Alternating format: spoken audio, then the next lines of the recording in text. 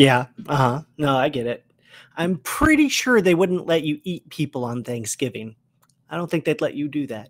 Oh, hi. Jared Krichevsky here. Hi. And welcome to Creature Corner. It's nice to have you. Well, I hope you're excited for a new streaming episode, as I am excited to be here with you. Uh, joining us today, very excited, is uh, our special uh, co host and guest, uh, Matt Millard. He's here today. Come on in, Matt. Matt. He's supposed to be here. Oh, oh, ah, that's right. He's going to see Resident Evil. So, never mind. Uh, sorry, guys. No Matt Millard today. You're just going to have to deal with me. But hopefully, Matt will join us next week and he can give us his review of uh, of Resident Evil. I've heard uh, great things uh, about it. Uh, I am your host, uh, Mr. Wimbley Pimblesmere of the Pimblesmere Consortium. So thank you for joining me, Mr. Wimbley Pimblesmere. Uh, so, uh, what is the prompt for today?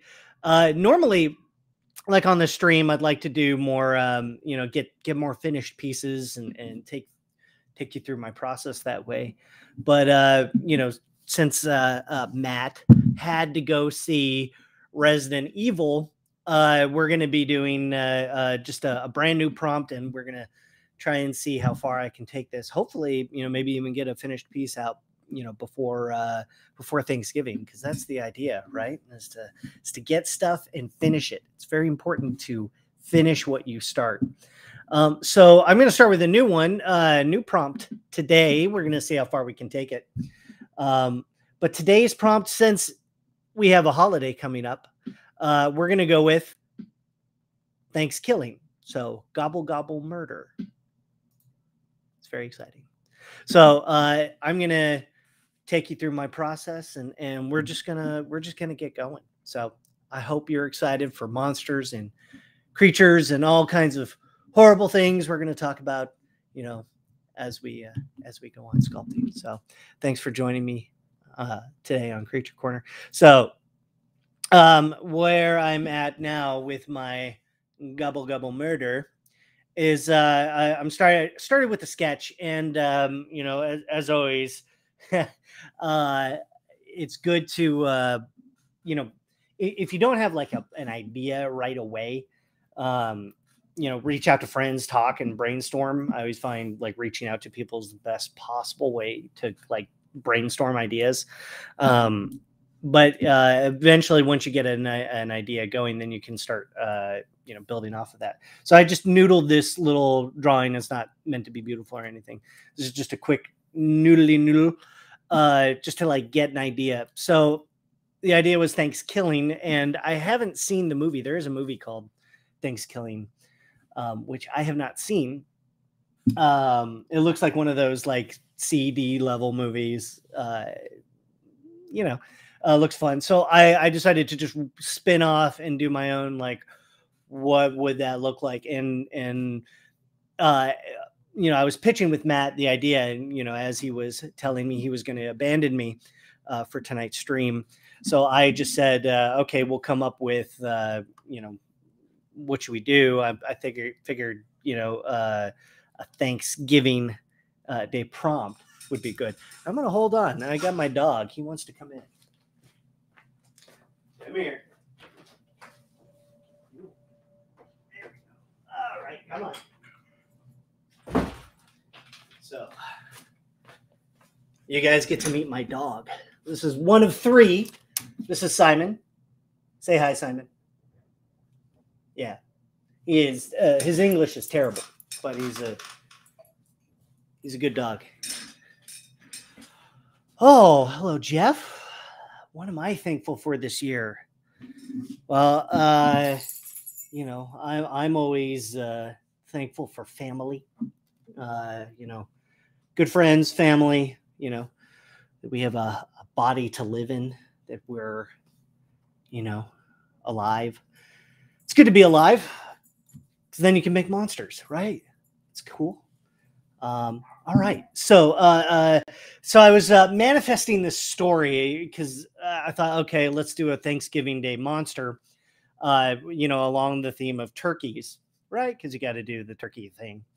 Um, so I was kind of like leaning towards like A24 lamb territory where, um, where it was like, you know, maybe like a deformed, uh, kind of like human turkey hybrid.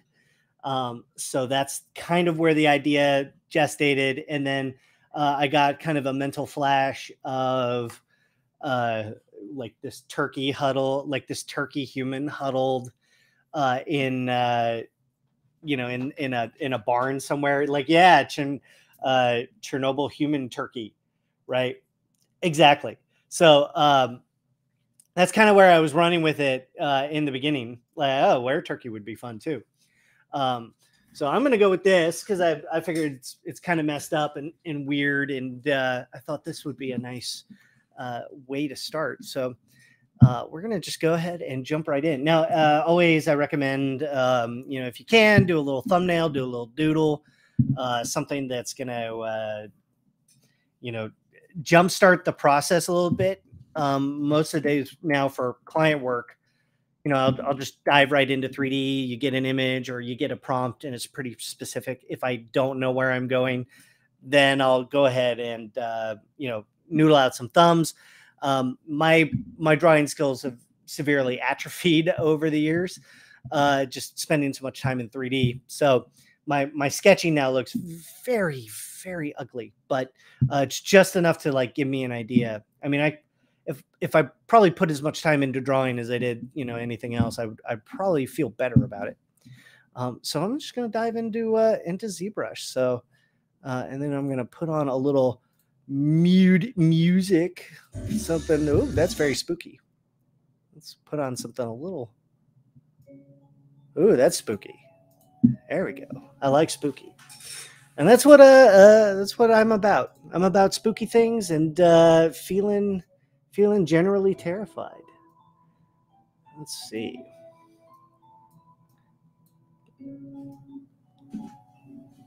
All right. So uh, normally when I get started, it's kind of like um, I'm I'm going shopping a little bit. So you'll probably see me, um, you know, poking around up here in my in my light box.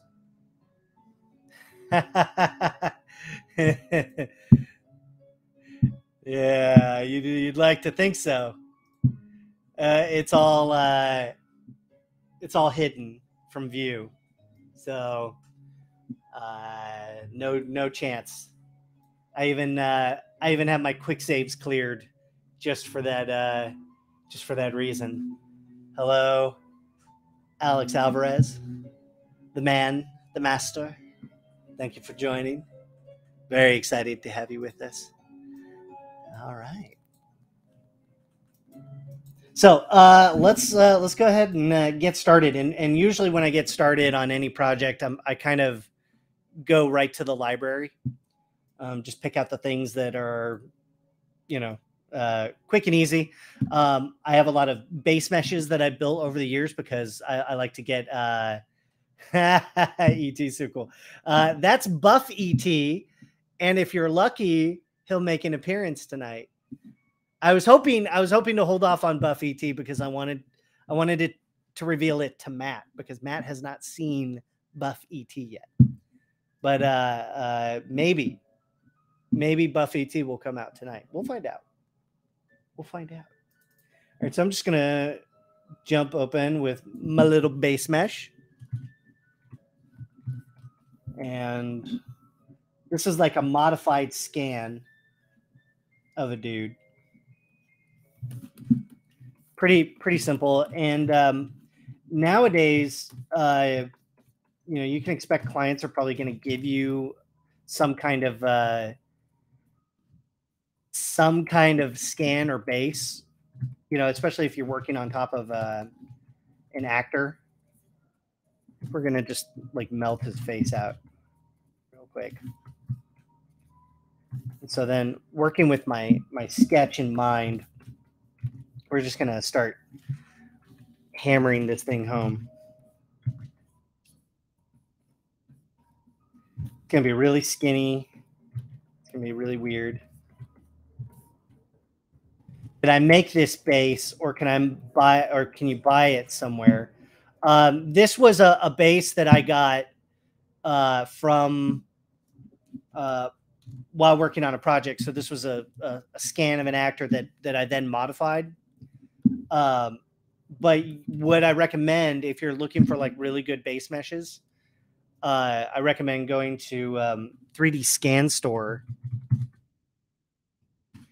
You know, back in the days when I when I uh, was just starting, um, there there really wasn't a lot of this stuff available, uh, base meshes and everything. So I was we were taking low res base meshes and then we would work work on them from that. Um, nowadays, uh, I'll start with uh, these scan data meshes. Um, one because they're already human, right? You already have realistic proportions, anatomy, um, and a lot of these have textures on top of them as well. Um, so when I'm when I'm starting kind of any project now, I'll, I'll just I'll pick at one of these and I'll, I'll start modifying it. Uh, so that's 3D Scan Store. Let me. Uh, I'll, I'll put that link in the uh, the chat for you. But yeah, it's um these these are really great, and uh, you know I'll I'll use I'll use scan data. I'll modify it, you know, however I need to. Um, so you can see uh, you know, I bought a lot of their clothing as well. It's, it's just really nice because it's really high res. I mean, it's scans, so you can't get more uh, more realistic. Um, yeah, yeah. Uh, um, so Jeff in the chat is saying uh, he's been using DAZ models, um, and um, yeah, I used to use DAZ, and then uh, uh, I, the program is so clunky that I I I just gave up on on DAZ. Um, occasionally, I will I will pull out a DAZ model if I need a, a specific pose. Um, usually, if I'm going to illustrate over a, a 3D model, uh, then then I'll use a DAZ model. Uh, but you can see in like my base meshes, music is very spooky. You can see my base meshes that um, I have a lot of them. The ones I end up using most are are you know ones that I've I've uh, used over and over again. Um, I'm I'm sure it'll probably become apparent in, if you look at my work. Um, but I, I have like base meshes from from everything that I can pull from, uh, anything possible. Um, and if I if I modify a base mesh enough, uh, then I'll save it out, and and you build up your library this way, and uh, it becomes really efficient. So anytime I sculpt a base, you can see I have a few in like poses, doing other things. Oh, you know what? I forgot about this guy. I have uh, I have this guy already built, which uh, uh, you may recognize from the first episode from from Creepy Moon Boy, and uh, this uh, is actually a, a it was scan date of Javier Botet, uh, act, an amazing actor that I um, also modified and you know other stuff. But I think I'm going to stick with Richard for now. Um, but what's nice is that it just gives you, you know, landmarks already to work with. Um, what I would say is that if you're a new 3D artist or you're, you know, just uh, uh, brand new to, to, to anatomy in general, um, spend some time just practicing uh, anatomy and just getting good at that. Um, practice sculpting anatomy a whole bunch. I'm just going to melt those hands down, melt the feet down a little bit. I'm going to probably just start throwing him into a pose um, to get some gesture. Right now, he's a little, uh, you know, the the problem with with base models is they always come in a little stiff anyway. So, so to get my pose, probably just to keep this in mind save this out.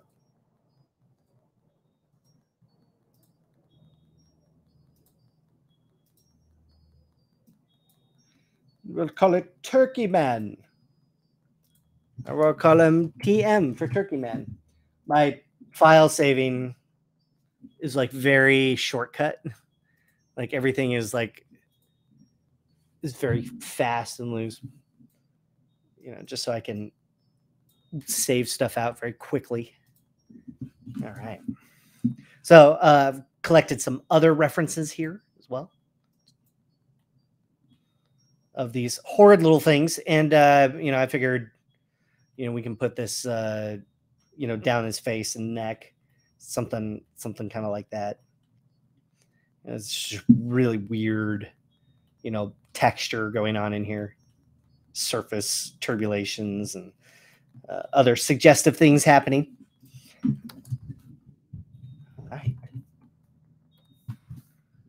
I am working on the uh, the latest ZBrush update, uh, 22.1, but I have not um, I've not really gotten to play with any of the the new new features yet. Oh, uh, this is uh, this software is called PureRef. Uh, just uh, answering the question here. Uh, this is called PureRef, and it's like 15 bucks. Um, what's really great about this is you can um, it helps you kind of collate all your references, and you can also put it on top of your uh, put it on top of your screen and then uh, and then what's nice is you can kind of infinite zoom in here and zoom in and out and do other stuff. I have some other references that are off screen. Uh, they're going to be a little bit more horrific and a little bit more um, inappropriate for uh, for streaming. Um, I have a very morbid sense of curiosity, um, and so uh, I'll I'll put a lot of that in. Um, but one what I'll do is let me uh, what I'll do just to kind of show you how I work, just in general, is I have a I have a reference folder. Um, you know, I have um, thousands and thousands of references uh, that I I've collected over the years, and um, this is my special effects and makeup uh, reference folder. So this is one one of my favorites that I just continue to add to, and um, because I I kind of base everything that I do in in practical effects. Um, what I'll do is, uh, you know, anytime I see anything kind of practical and cool on screen, uh, I immediately like grab it and you know save it. If I can screenshot it, um, I'll do that, and then I'll just grab everything I can and just dump it into PureRef here, and you'll see that it's going to take a second. I'm going to pop up here because I need, there's some really awful references that I, am using for this. Um, so then I'll dump all my references here and I'll, I'll do a couple things like, uh, I'll align, I'll align them. Sorry, you can uh, normalize by scale. Let's see.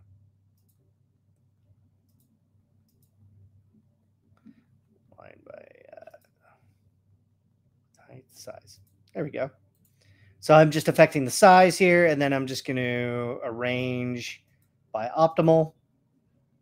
So this way, the all the uh, all the references are equal size. So there's there's no one image that feels more important than another.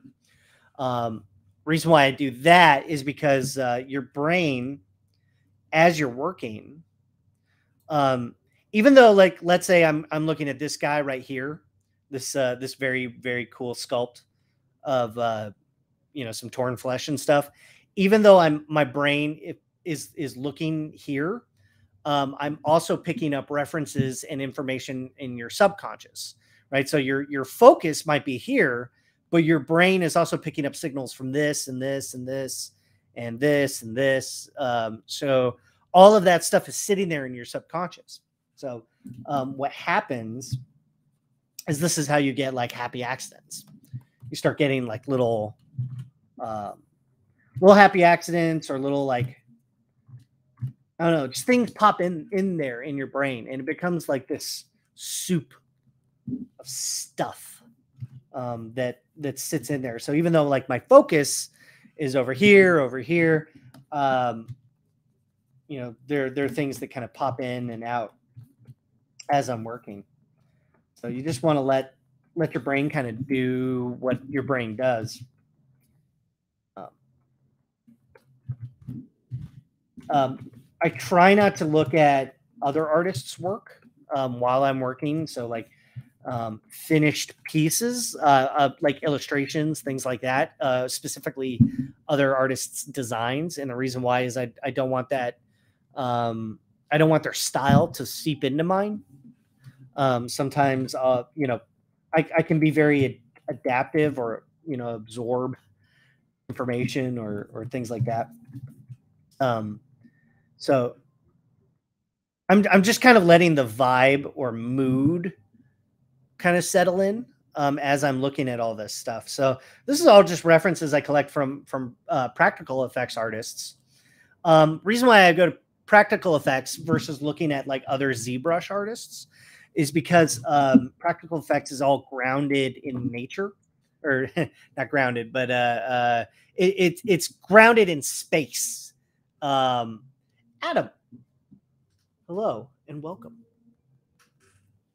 That's me, Jared. Hi. Um, so so I'll, I'll, it'll kind of like ground my my thinking as well. Um, that's why I, I love practical practical effects. Now, even as a digital guy, I love digital sculpting, right? I love ZBrush artists. I love looking at at what they do. But I'm trying to gather information from elsewhere. I don't want um, anyone else's influence affecting mine. So I'm going to kind of carve into the obliques here a little bit. And I want that rib cage to kind of pop out. Also, uh, like like this one, this is kind of like right in the zone where I'm where I'm trying to hit with this one. Uh, kind of like really messed up Chernobyl, you know, like we were saying, Chernobyl, Chernobyl uh, turkey people, right? So getting my um, getting my base kind of into a position because he's going to be, you know, he's already curled up. So I'm going to kind of reach for that real quick. And then once I have it in kind of the general position, then I'll take it a little bit further onto uh, like the, the actual pose.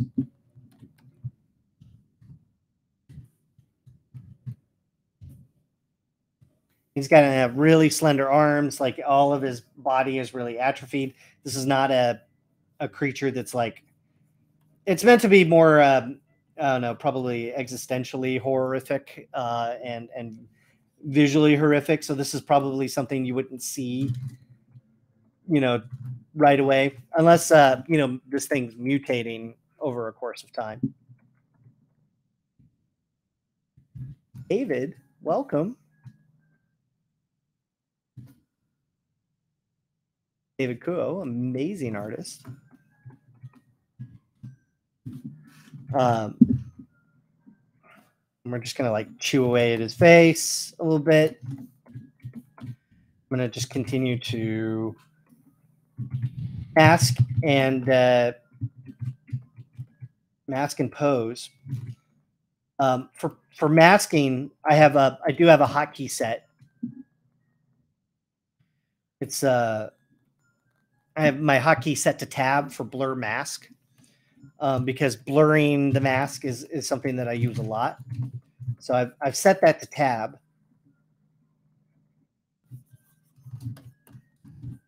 His legs are going to be kind of atrophied and weak. And uh, so there's no muscle development. Like this guy can't move. You know, like maybe you know, this family, maybe like a hills have eyes kind of family. Hey, thanks so much, David. Great to have you here, man. Um, it'll be fun to, uh, you know, if this thing is really like just atrophied and weak, and then uh, maybe we see it, you know, it, thinking cinematically, you know, you're probably not going to see the the creature a whole lot, you know, either till the very end Um, you know, it's going to be hinted at.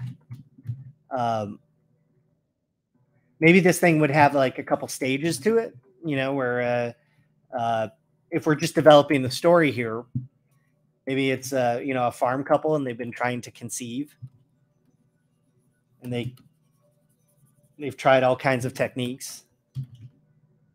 Maybe uh, maybe one one night they pray, they pray really hard, and they pray for a baby they pray for a baby. And uh, they're praying for that baby. And it, maybe it's the same night as like a radiation leak from a no from a like a nearby uh from like a nearby, you know, nuclear power plant or something or a chemical leak. And so maybe because they're a farm couple, they don't have a lot of access to uh you know a lot of access to uh, uh, news and information. You know, maybe their wife they don't have Wi-Fi or anything like that. You know, kind of think of an old school farm couple, and they're they're praying for a baby, and it just so happens like on the night of a a huge ecological collapse, and they find out they do the deed, and they find out that she's pregnant but it's with a horrible turkey monster. Or maybe things look normal, you know, maybe everything looks normal. And then you get a horrible turkey monster in there. I don't know. I find uh, you gotta have gotta have a story. Like that's what's gonna make your your character so much more personal um, you know, if you can develop a little story around them. Because if you uh, you don't have a story, you know, it's real easy to. What I found for myself is that I uh, I start spinning the wheels, and then I start chasing ideas. What happens is uh, I'll be like, "Oh, what about this idea?" or "What about this idea?" And then you're like, "Oh, I, want to." I want to get this one. I want to get this thing in. And You gotta squash that. You gotta kill that habit because it's real easy to get distracted. So what I find is now, obviously, I have a, uh, uh, a you know the streaming platform now, and I I prompts, you know, that are going to help kind of motivate me. Um, but what I've found is like sometimes the hard part, just you know, what do I make, right? What what do you sit down and make? So you have to find a story, and um, eventually, over over time, when you're no longer thinking about the technical aspects of what you're doing, like once you you you're just comfortable in the software or whatever, you'll um you'll eventually just need stuff to think about while you're working Like, what do I make? Um, and so, what I learned from a, an amazing teacher, um, oh God, I'm going to brain fart on this. Why can't I? Oh, Mark DeDecker. There it is. See, that's called latent learning. That's where something comes to you after you're thinking of it. Um, oh, this is a really cool idea. Yeah, that's awesome. Meets farmer and a turkey right? Let's let's make some scary turkeys. Turkeys like are not inherently scary to us, I guess, because we eat them every year. Um, it's it's such a thing that you don't think about, but like these things are awful. Look at that. That is just horrific. You know, nature is terrifying. Um, so anyway, you gotta have a story. Uh, the story is what's going to keep you engaged and keep you motivated. And then kind of what's fun is you you start finding and developing that story for yourself. And you may find that you actually want to, you know, develop it further. Um, and actually like really want to tell a bigger story. Um, that's also kind of a trap that can happen too is is you fall in love with something and then you're you're just in you're just in love with it and um and that happened to me i had a i had a uh, creature design that i did just for fun and uh, i fell in love I fell in love with it now I, I wrote a short film about it storyboarded the thing we're going to try and shoot this thing next year um but that story keeps you engaged. It keeps you keeps you really um, really focused too. Storytelling, storytelling. It's a big part of the character arts. Imagine that. Um, so right now, I'm just using uh, clay buildup for for everything. Uh, clay buildup is pretty much mm, the number one brush you're going to be sculpting with. Uh, second only to like the move brush. I've been told that I wiggle the forms. Uh, I'll kind of like, I'll kind of wiggle it into the place that I want.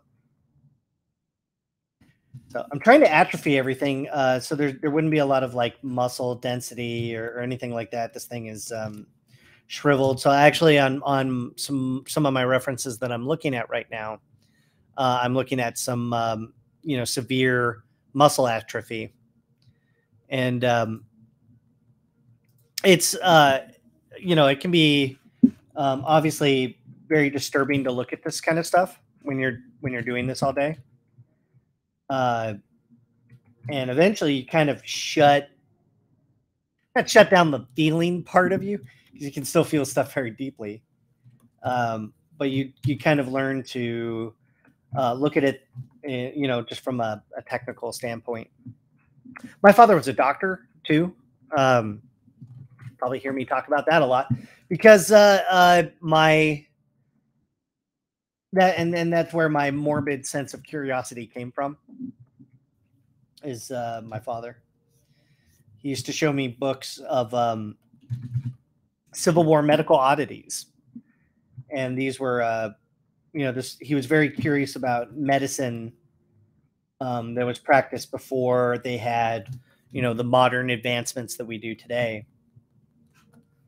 So my dad passed his morbid curiosity on to me. And I didn't realize that, you know, uh, that that's that was going to become kind of a key key factor in what I do every day. He um,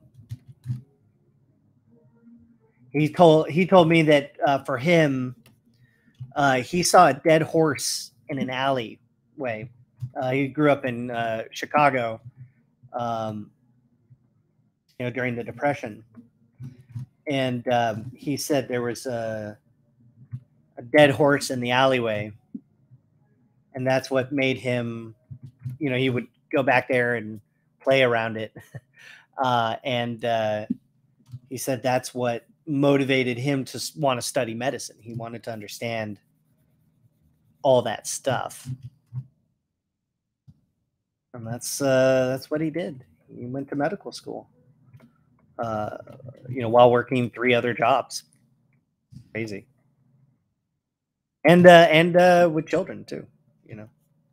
He had three daughters, and he went to medical school. Um, now my dad also loved movies, and uh, that probably you know another factor why I'm as uh, thoroughly messed up as I am. And see, he had morbid curiosity, and he had uh, and he loved movies, loved Schwarzenegger movies specifically. So I saw I saw Total Recall in theaters as a child. When did that come out? Total Recall. I want to say it was like what, eighty nine? No, I'm probably way off. 1990. Okay. I was nine, probably. Yeah. I was nine when I saw Total Recall in theaters. So that explains a lot. 88. Was it 88? says 1990. but um, I remember. It's a good guess. It's a good guess. Um, but yeah, I remember seeing Total Recall in theater, and uh, I remember seeing Alien Three and and a lot of these movies um, that I was not supposed to see. My mom also took me to some of these movies because I because I insisted. Uh, I I insisted on seeing Tremors uh, in in theaters, and uh, Tremors to this day is still just one of my favorite movies. Uh, but I remember Total Recall was a big um, was a big kind of awakening for me uh, uh, in the monster life, and it was specifically Kuato. If you guys remember uh, Kuato from Total Recall.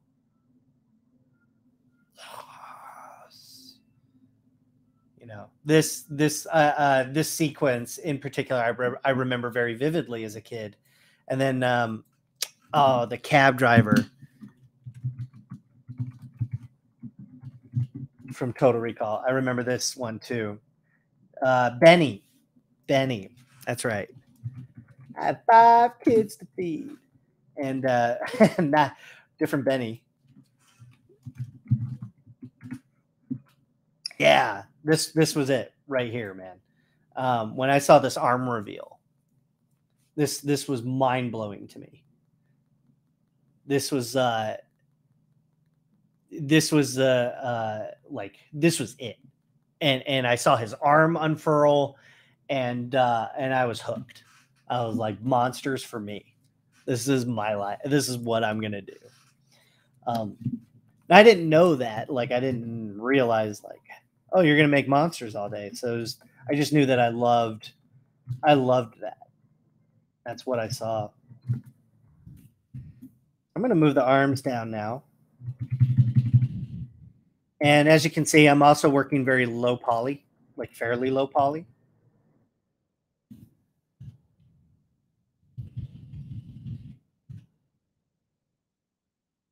I um I teach at Gnomon as well. Come take a class with me. Uh, if you can come come come join me for a class. Uh, one thing i see a lot of students do is uh, they will they will jam up as many polys as they can right? They're like hey if 500000 polys are cool then 500 million polys are cool right and so they'll like they'll go nuts.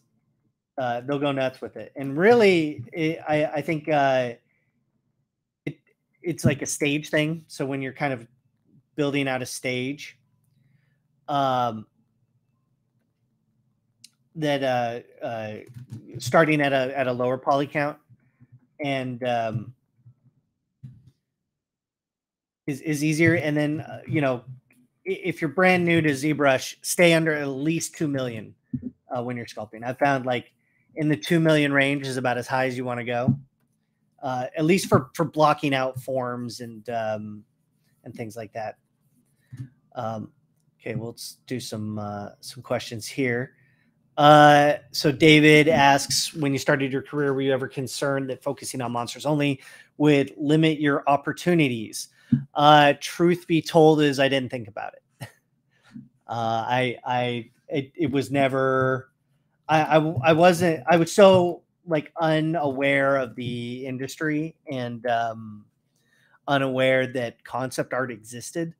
Um this was you know obviously 11 years ago um when i when i was going to Gnomon, uh prior prior to Gnomon, i have a i have a theater degree.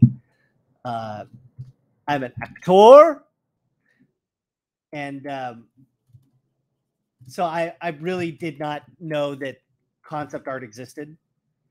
Um, and I didn't know that uh, I, I didn't know that it, you know it was a tough market or you know anything like that. Uh, none of that like even registered to me. Uh, it's it's all kind of silly because um, I know there there are dudes that like they know right away that this is what they want to do. I had no idea. Um, so when I was at Gnomon, Um, one is I was I, I just wanted to study visual effects. Um, I didn't I didn't know that there were fields within visual effects that like I was incredibly ignorant about the the industry. Um, and uh, so I, I, like none of that made made any sense. And I figured, uh, you know, I'm I'm 28. If I go to the school, I'll get certified in two years, and I'll be out by I'm 30. Um, clearly, visual effects is you know not you know going anywhere. Uh, CGI is is you know very important in the industry. I had played with ZBrush two uh, back in the day, and and so um, and that was just me kind of like wanting to learn stuff. I went through a phase after after I graduated where I was just trying to um, learn as much as possible, whether uh, you know about filmmaking. I was I was uh, storyboarding and you know doing other things. I was trying to just absorb as much as possible, and um, so so when I when I went to Gnomon, uh, Jared Marantz was teaching there, um, at the time. He was splitting a class with um, Hong Lee, uh, and that was uh, I think my fifth term. Um, well, yeah, David, you're you're good at everything. Your work is just killer. Um, so so for me, yeah, I, I saw Jared Marantz and he showed his portfolio, and that was like my my light light bulb moment because I um, you know, up until that point, I I had only studied, um, and Hong took over for Feng Zhu. I didn't know that. I did not know that, Alex. Um, yeah, and and Hong was getting really busy, and so they split the class between Hong and and Jared, and so I met Jared uh, uh, in the latter half of that class, and he showed his work. I mean, and Hong was Hong's work was amazing as well. Um, so like between the two of them, it's like whoa. And, and, then when Jared showed his work, his portfolio, I was floored. Um, like I that was my light bulb. Um, that was I was like I want to do that, and I didn't. I didn't really ever consider that like uh, it would limit possibilities. I had I had no idea. Um, and so I I I rate you know uh, you know so I was I was already into it. Jared asks uh, his class, um, you know, is that you know they were happened to be looking for interns at at Aaron Sims. He's like, is anybody interested? My hand shot right up. My I was like, I was like, boom, right here, me, me, and uh, and I know and I know Marantz. Like I, I saw him like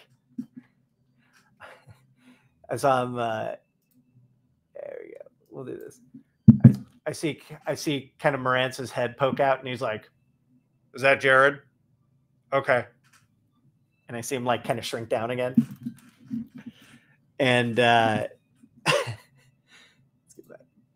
and uh, and that was that was it. Um, and so the night, so I gave him my my number, and then the next week I was I was at Aaron Sims and that was you know um, i was you know they just needed somebody to organize their um, their files so they didn't really they weren't really I don't you know I was kind of the pilot intern for them. Um, I've been a lot of pilot interns. It's really interesting. Um, so he was uh, you know, I, I just uh, they had me organize their their reference folders. That that's what they needed. Um, so that was kind of my my start there. And so I spent a lot of time, you know, uh, hours because I was going to school and interning for Aaron at the same time. And um, and so I was just organizing their their their file folders, and that kind of I think that what I was doing there um, was I was rewiring my brain. I didn't realize what was happening. Um, but I just I sat and I, I listened to them. I listened to how they talked as designers.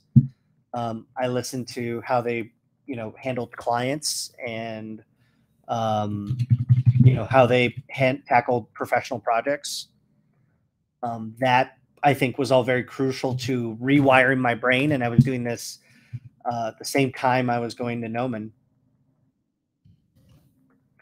So long answer, uh, way, way, way long answer around that uh, that whole thing is uh, I didn't know. I didn't. I had no idea that uh, you know choosing to do monsters would would limit my career in any way. I just I just followed exactly what I was passionate about. Um, and so far, that just passion um, has has led me to some very cool places. It's good, or yeah, I love an origin story.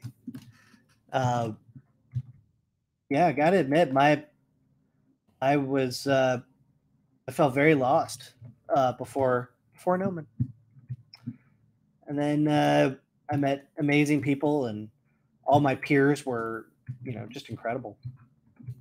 So uh, awesome, awesome opportunities. Very very lucky. I'm going to shorten the legs up a little bit, uh, and I think you know this is very crude right now, but you can see kind of kind of where it's going. Right, we're we're getting there, and we're gonna have to like, you know, really work the body up. You know, this would this would probably take a little bit longer. I'm doing, but We're just here to have a good time and talk about monsters. Definitely skips leg day. And um, really want those pelvic bones to pop. Very gross. Had to work on some gross things.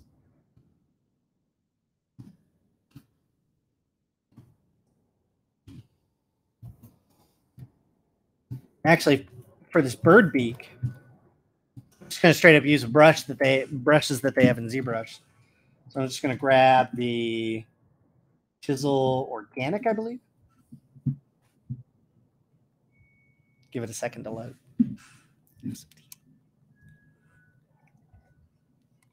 And what's nice about this is it has like actual beaks in here.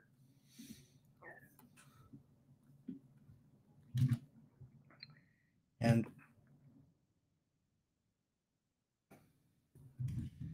just straight up draw them on.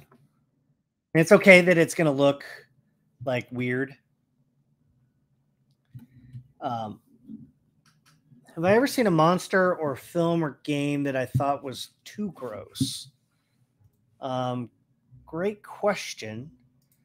Um, I think the shock value of something like uh, uh, it comes from the stakes in the story. Um, because I'm a I, I have a very iron stomach when it comes to looking at at horror. Obviously, I consume a lot of horror content. Um, I, you know, I I watch a lot of movies. I watch a lot of horror movies um, all the time. So my my sensitivity level is very different than say my wife, who is very uh, sensitive to that stuff, and she's squeamish. Um, so so for me, uh, you know that nothing bothers me you know um, but what scares me um, are are the things that are the stakes in the story um, so example of a very terrifying movie uh, and you all know what it, what it is is hereditary um, the reason why hereditary is so horrifying is because he you know he goes there um, and you know, there there's that scene uh, in Hereditary, and y'all know what it is. Um, and that is, um, you know, that's what that's what's horrific. You know, yeah, yeah, it's a rough, it's a rough movie. Yeah, so it's it's uh, to me, it's the stakes involved, and uh, uh, another great example is um, Channel Zero. if you guys have not watched that show, um, Channel Zero. Channel Zero. Yeah. Yeah, I have a terrible spelling.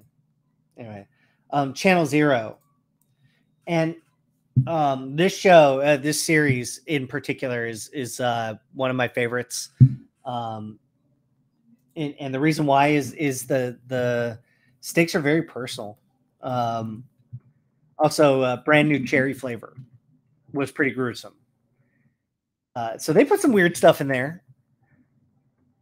I think uh, if if if we're talking like pure grossness, like the grossest creature I think ever put to film is the thing, right? Uh, uh, and um, Rob Bottin's effects uh, in that movie are definitely what helps um, sell it. Let's get some like bulbousy, kind of like he's not gonna have you know uh, well, you know a couple. He'll have a couple eyes, kind of mutated.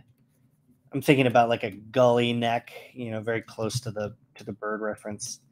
It's actually okay that um, you know that the the sculpting is going to look a little wonky, um, you know, and and we'll go really asymmetric with it as well.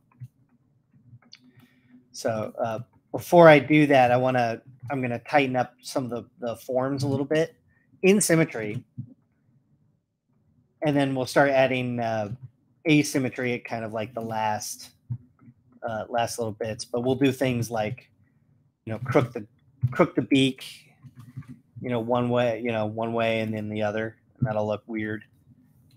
I'll give it a really bizarre kind of feeling. You know, um, start adding some crisscrossing lines. These are just kind of uh, you know sketchy sketchy marks just to remind myself that this is going to get um, messed up in in the neck in particular. So it's I'm not committed to anything. What is that started? What is what started? Hey droids. Welcome. Um, as far as like hotkeys go, I have um, I have mirror and weld set to a hotkey, and I also have uh, mirror and weld, and then mirror as well. So that just helps me speed wise. Um, also, what helps is um, is uh, you know if you cut something in half, you only have to work on you know kind of this side of the body. So it just kind of helps you know whatever ways you can limit um, you know how much you're seeing. Uh, if I have specific reference as well, I'll follow the mirror side or I'll like I'll mirror if I'm working on like say the left side of something, then I'll I'll mirror it over to the other side and then you know work on it that way to match. It just helps um save some time. Let's see. I need some ribs in here. So I'm basically going to describe these in. I don't ever worry about like making perfect lines or perfect marks. Um, that's something that, you know, it, it really depends on what you're sculpting. If you are, say, doing um, stylized work, you're going to probably really focus in on on really tight shapes and everything is very planned um, and chiseled um, with creature stuff, I like to be loose, loosey goosey. I'm gonna get them um, an extended kind of pectoralis now, like a, like a chicken breast. It's just blending that that edge of human and animal now. What are you all doing up this late? What are you working on? Yeah. that's the thing is uh, art is an addiction, isn't it? Love, love making it. When you finally have like a um, specific epiphany about what you're making, or you feel like you've leveled up. Ooh, it's addictive, isn't it? Feels good. And then you plateau for a while and then you're miserable. Just utterly miserable. But then you plat you know, then you peak again and you're like, ah, I feel great. I'm the greatest. And then immediately you fall apart the next day. That's why we're all a little bit crazy. Have you ever made a piece where felt possessed, like while you were making it, where like all time and space like just melted away, as and you just knew that I had to. uh You just knew that you had to make this thing. Now that is a feeling when you're totally enveloped. Totally enveloped. Adam, you're working on some character armor. Let me guess something Star Wars themed. Did I get it? I got it, didn't I? Yeah.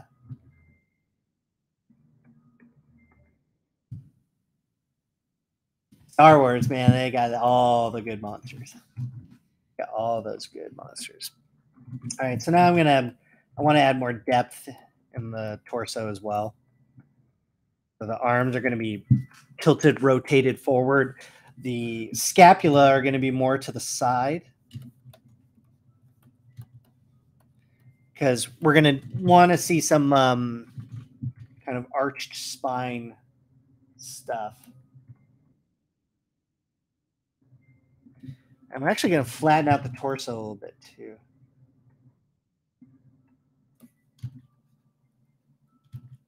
Gotta drop a new Mando. Yeah, that's right. Heck yeah, man. Excited for Boba Fett. I better see some Hutts in there, man, or I'm gonna be pissed. I want to see some like, because there's supposed to be like a whole bunch of gangster Hutts as well out there, isn't there? Yeah, hell yeah. I want I want to see some Hutts. Like, what? Ask yourself, like, what do I want to see in a Boba Fett series? I want to see some Hutts. I want to see. Uh, I better see a Rancor. I want to see him like ride a Rancor or wrestle a Rancor. Right. I want to see some bounty hunters. I want to see some droid bounty hunters. I want, you know, I better see some lasers. You know, he's like Bossk. Yeah. Oh, cantinas, man. I want cantinas. I want lots of juicy cantinas. yeah, I think um, there are times when you want to work on stuff and then there like there are shows that like I want to work on, but at the same time I don't because you just want to enjoy something. Sometimes if you get close to something, it, it can uh, you know change your perception of stuff because you start critiquing it on a different level. Oh, they changed the design. Oh, they did this. But um, when you're when you get to actually like enjoy something. Mandalorian. see a heavy metal style animation with a story about space wizards. Oh man. Space wizards? You know what I love? You know what I want to see? I want to see a, a Silverhawks. I want that to make a comeback. And a part of me wants to do fan art for it. I mean, I would love to do fan art for it. Probably do fan art for it at some point. But I love Silverhawks, man. I was like, they also won for like having one of the coolest intros. Silverhawks and uh, like Thundercats. Oh man, same same animation company too. Um, wow, Silverhawks is so cool. Okay, so arched spine, right? And uh, you know, the whole time I work, I kind of sight it from the uh, from the silhouette here. Um, and see, I, I, I mostly work with a lot of sculptors now, but now I've, I've got to start dynameshing stuff because it's um, starting to get a little, you know, that geometry starting to get a little wonky. There we go. So that took a long time, uh, and my my poly count is too high, and that's because um, one I had project turned on, and um, my my resolution is a little high there. Um, the other thing you can hit is uh, oh, my my little graphics bar is covering it. Just realized that. I'm gonna turn that off. Hey, hi. Um, so I have a bunch of buttons down here as well. So uh, I'm turning project off and I'm turning uh, the resolution off. But if you if you hit the resolution, you hit that little button right there. Um, what that does is it makes it object scale and then Dynamesh. Um, I know they added they added a picker, like a Dynamesh picker to the new version. I haven't gotten to play with that, but I will. Oh, I will. So there we go. Now we got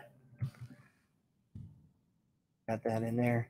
Start blocking out the abdomen that little center line down the abdomen, uh, little indication of a belly button.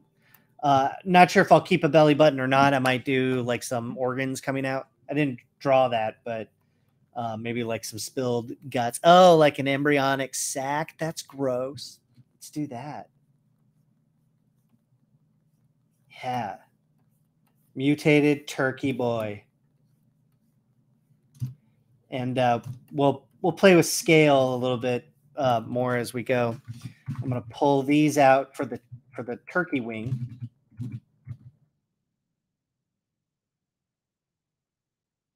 So now we've got the the actual turkey wing, and then we'll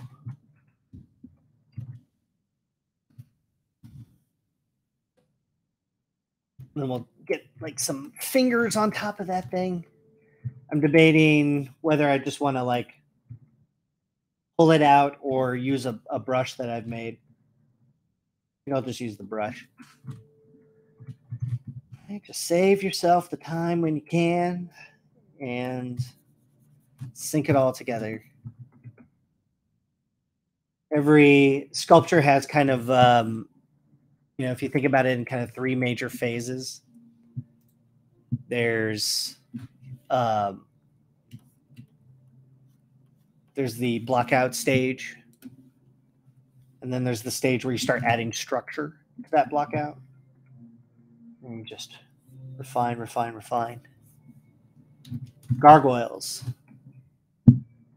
Man, I love that show. I really, really want to work on that. uh, it's bonkers to me that, that Disney hasn't done anything with that, and I'm I'm sure they're they're talking about it. Um, but like, where is my Gargoyles movie?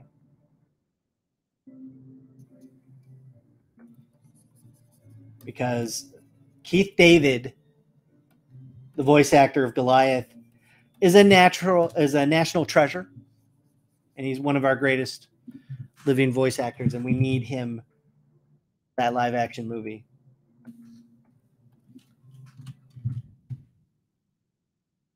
Everything Keith David is, he's the dude is just so good. Yeah. Okay, so I'm starting to define that scapula, the spine of the scapula, teres major, teres minor, infraspinatus. You don't have to know the name of uh, all the muscles, but it sure helps a lot. You can just remember the shapes that they make. But I find that um, also my dad was a doctor. If I mentioned that, he was a doctor. Um, but that just made me curious, you know, about where everything is. They're all matter of fact, trapezius muscle, rhomboids, blocking in the latissimus, coming down to the base of the sacrum. Good references, man. That is all. That is just everything. Gotta have good references. And I don't know. I, I don't know if because I'm streaming it, I, it was probably not appropriate, but like I feel like I need a warning. Like uh, if I could show you guys this stuff, but like some of y'all have sensitive stomachs. Be surprised.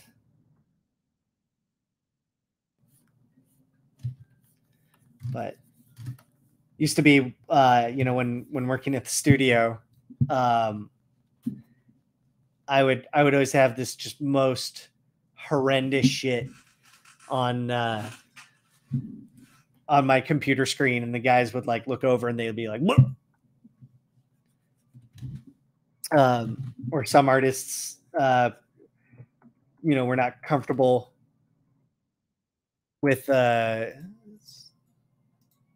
it sounds very familiar. Um, some artists wouldn't uh,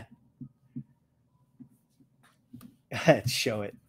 Uh, some artists will, you know, are were uncomfortable working with like really gruesome stuff, and they're like, "Oh, Jared will do it."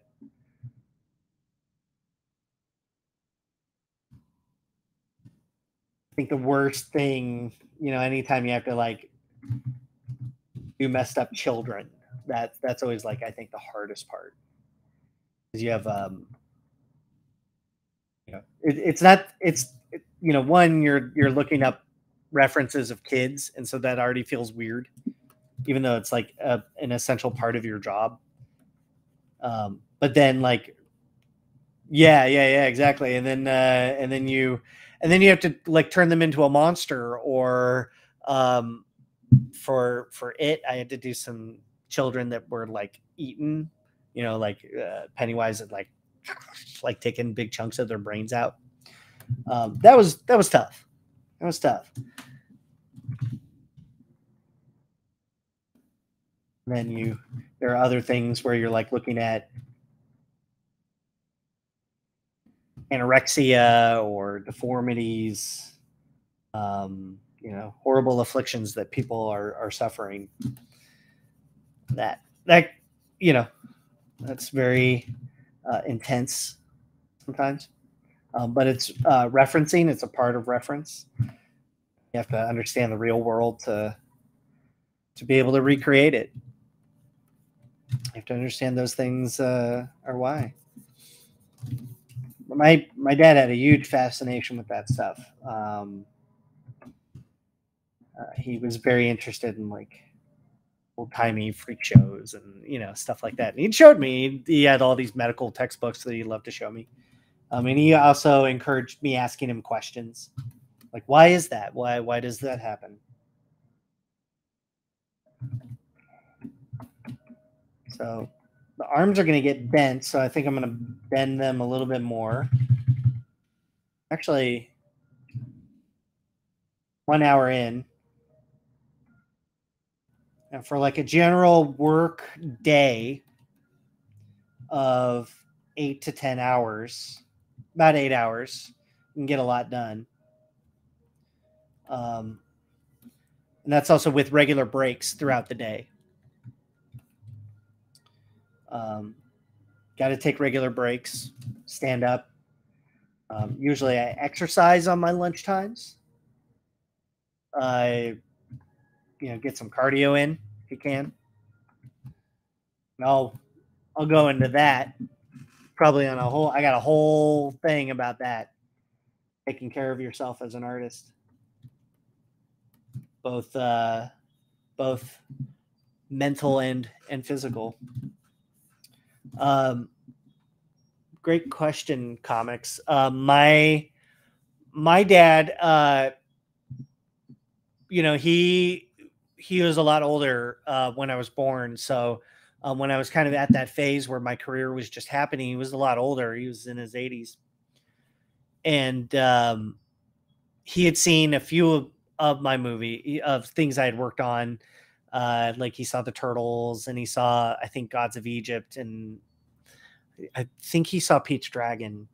Um, so he had seen things that I worked on, or that I, that, you know, I told him that I worked on, and he, you know, at that point he was like, "I get it, you know, I, I understand now." Um, so, you know, when I told him I was going to be an actor, that was obviously not. Uh, he was not thrilled with that. Um, you know, he he'd wanted me to be a doctor. Um, and so uh, I was obviously bent towards creativity. Um, was not a great student uh, in high school or college, like just smart enough to like get by without like really applying myself. Um, so I didn't have the grades for for any kind of good schooling. Um, you know, uh, uh, my SATs were terrible, um, like horribly embarrassing. Um, actually, I have a funny story about that. Uh, but um, yeah, so so you know, uh, career aspects for me were low, and expectations were low. Um, so when I you know was finally able to like show him um you know how i was uh you know working and making a life and you know i i had met my now wife um he was like okay i get it now like he he understood and he's like he's like i don't know how you're doing this. I don't know what you're doing but it's working for you. Uh so it was very it was you know it was like okay i had i had i was able to survive as an adult. He so he was pleased. And and that's not to say he wasn't supportive of my acting as well. Um, he he saw a lot of my plays and and uh, was very very supportive. Um, you know my dad had a, uh, uh, all kinds of interesting things about him um, you know, he was a photographer, he was a, a doctor, he was an adventurer. Um, so lots of interesting stuff going on uh, on there. Um, but yeah, when I when he was finally able to kind of like see that I had made a life for myself and I was able to to thrive and build a family, he was he was he was happy for me. You know, he passed before I uh, before he got a chance to meet my kid. Um, that was a couple years before he got to meet the kid, but uh, you know he was happy, and that's so that was closure we needed, I guess. Um, uh, let's see. So back to ZBrush. Hi. Uh, keeping on topic. Um, how will you try and make the hands tapering? Um, do you know a better way than the inflate brush um, to get the the hands to to really taper down to points. Um, what I found is you have to just pull, pull down and down, and shrink your brush as you're doing it. Um, so there's hotkey S. Um, this is in there by default. Um, it's it's also like spacebar. Spacebar also has uh, the the size toggle in there as well, so you can like spacebar. It's over here. Spacebar, spacebar, right? space bar, Spacebar um, but my index finger is always on S key. Um, and this just uh, figures your draw size. Um, so I'm always kind of shrinking and moving, shrinking and pulling um, till it gets, you know, as fine as it needs to go. I'm thinking of um, turkey wings and, and all, all shapes generally, you, you know, taper thick to thin.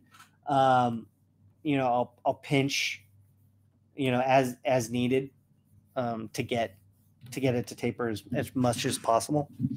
Um, ultimately, you know the you have to, for for my job what i do is i have to ask myself at, at any point like what can i get away with um, as fast as possible um, that's going to give me the, the shapes that i need.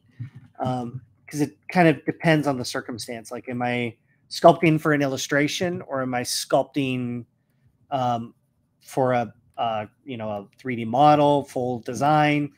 Um, so the it's going to vary depending on um, um, on what it is. So like if this is something like I, I know if it's too thick uh, and it looks thick in the render, I can always like pinch it down. Um, yeah, yeah. Thank you. He was uh, was very cool. Um, let's see. But yeah, I'm just kind of building on a base there. You know, also, uh, you know, you have to ask yourself, okay, is this going to be 3D printed? Is this going to be an actor? All the all the necessary questions. I'm going to taper this torso a little bit more. Start tucking that that pit in there. Really get really get in there and, and just pull in. All right, so the, the torso makes an egg shape. Um, so in this case, because this is a creature, um, he's going to be kind of oblong. Yeah, again.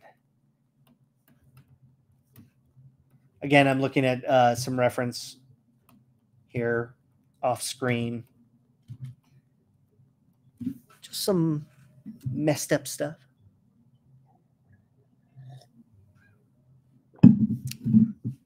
Yeah. Yeah, there we go. You see what I'm looking for is that webbing uh, from the, the pectoralis as it's wrapping over and kind of meeting the deltoid in there. Sometimes you can get that really thin kind of skin in there. And then I'm going to, there's a little bit of a gap here before the pectoralis inserts. So I'm trying to get that depth in there as well. And then here is the acromion process. Aren't all monsters under, uh, you know, misunderstood? Right? That's one of the great tropes. Um, you know, is that monsters are, um, you know, they're a piece of our kind of humanity. Um, speaking of which, uh, the original misunderstood monster, right? Frankenstein just got just got that toy. Drop my pen. Um, but yeah, the the original misunderstood monster. The monster was uh, Frankenstein, the doctor. Monster, you know, monsters kind of live a life of pain. Um, it's painful to be them. They're they're always kind of hurting and they want you know whatever that is that they want but generally it's to be you know normal. You know they just want love right? Yeah it's great. Swamp thing right? All monsters just want acceptance ultimately. Yeah, that of course depends, you know, on the monster, the genre, and all this stuff. Course, there are monsters that always want to eat you and consume you.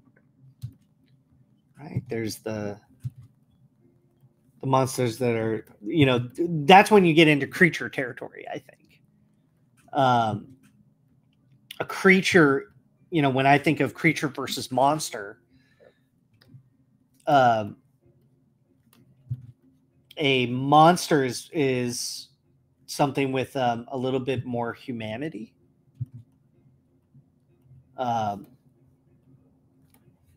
whatever you, you take that to be.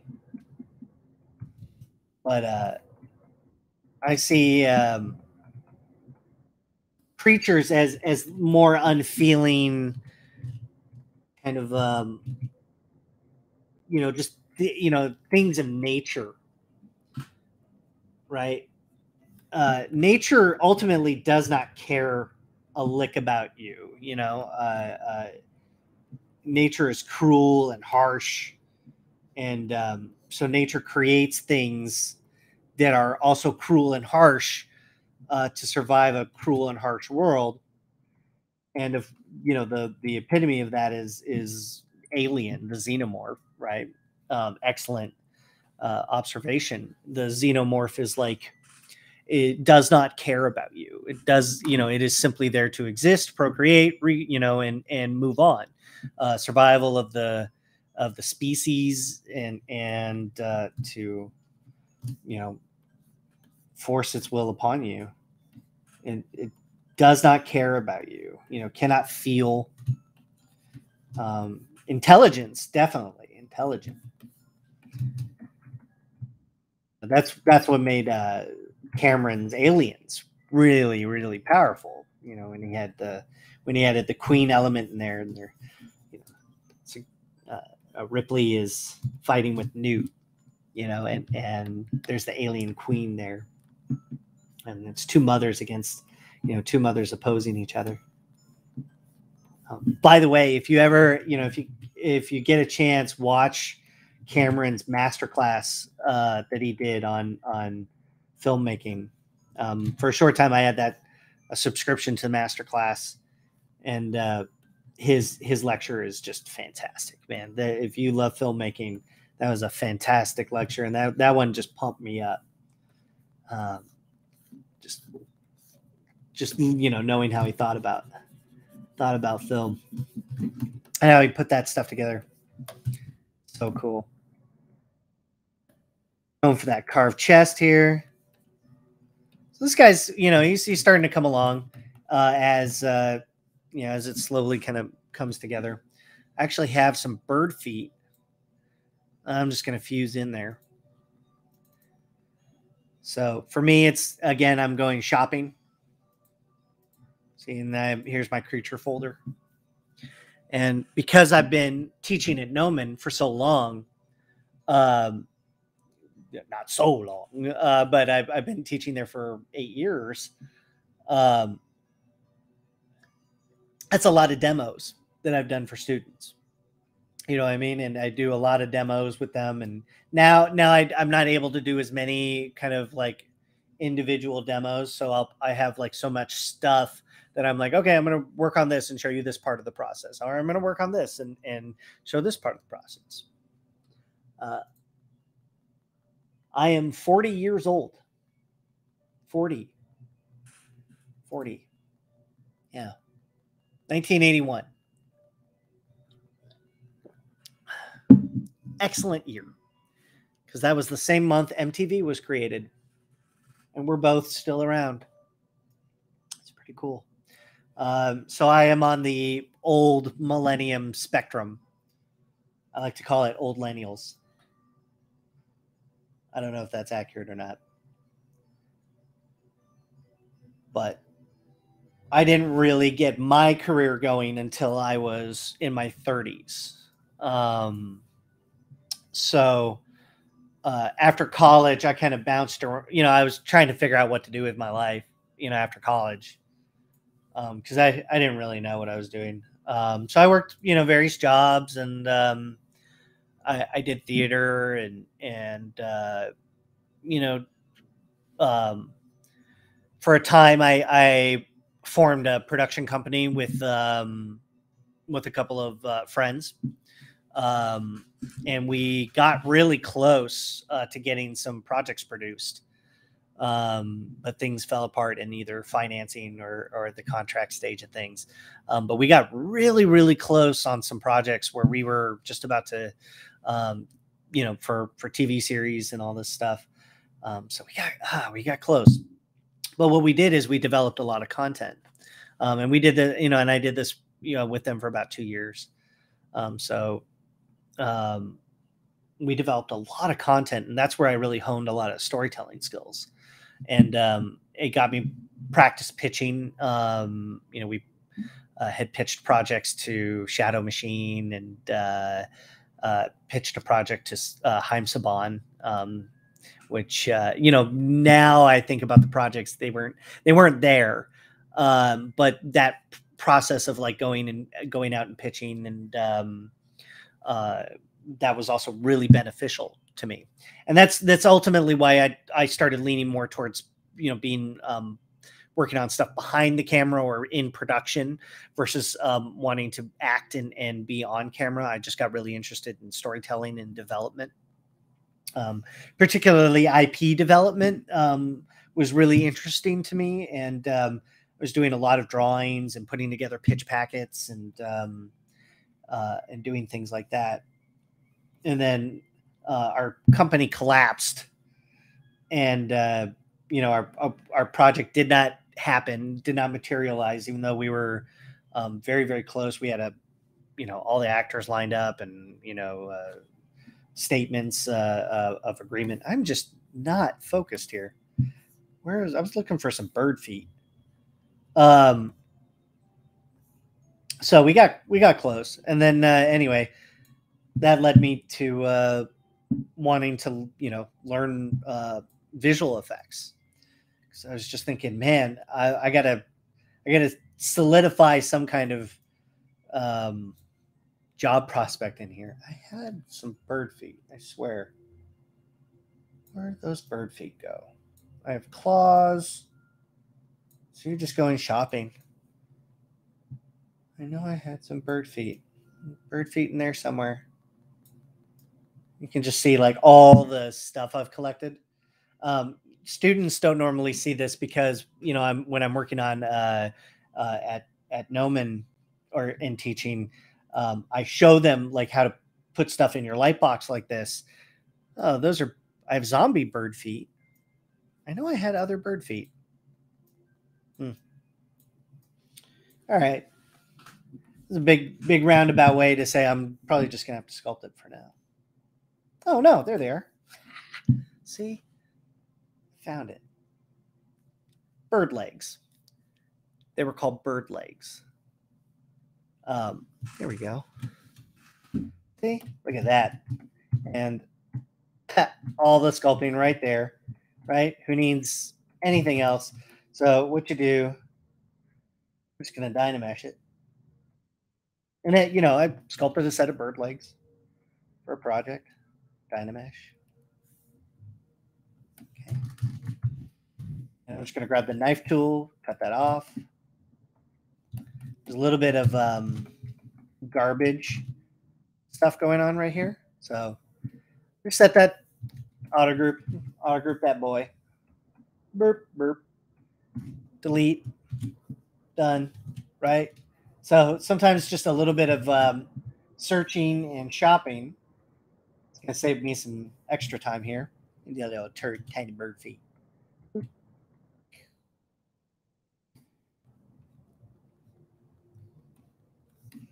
Yeah.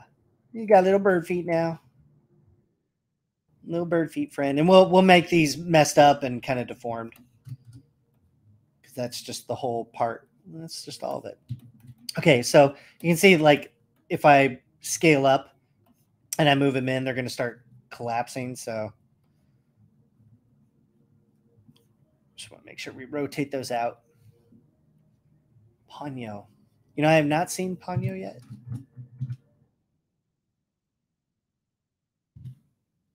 Should see Ponyo. Watch Luca. I loved. Well, I should say that my kid made me watch Luca 500 times. Okay, so we got bird feet, we got weird bird hands. Uh, I'm just going to chop these legs off. Dynamesh. Mash this together. And then we'll do a little smish smash. Smash them legs. Smash them legs together. And it doesn't matter that this is like garbage, like because we can, you can always fix it. Merge down. Hit OK. Dynamesh. Now it's fused. Oh.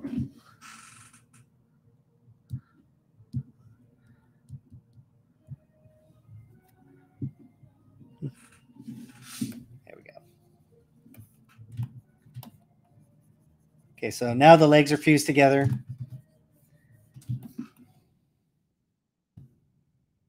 It's getting close. Grotesque, just grotesque enough. Watch Ponyo while eating ramen. I love ramen. Miyazaki always makes food look amazing. That's how you know, like, you're doing good animation. As if it makes you hungry.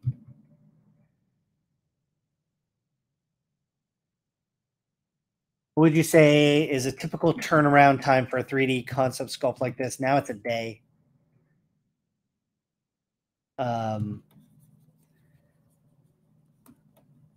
or at least uh, it, it depends. Um, you might get like a day or two.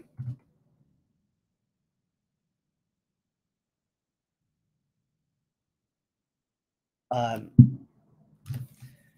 you know, ideally, uh, it's it's like one day to model, one day to render and paint. So it's about two days.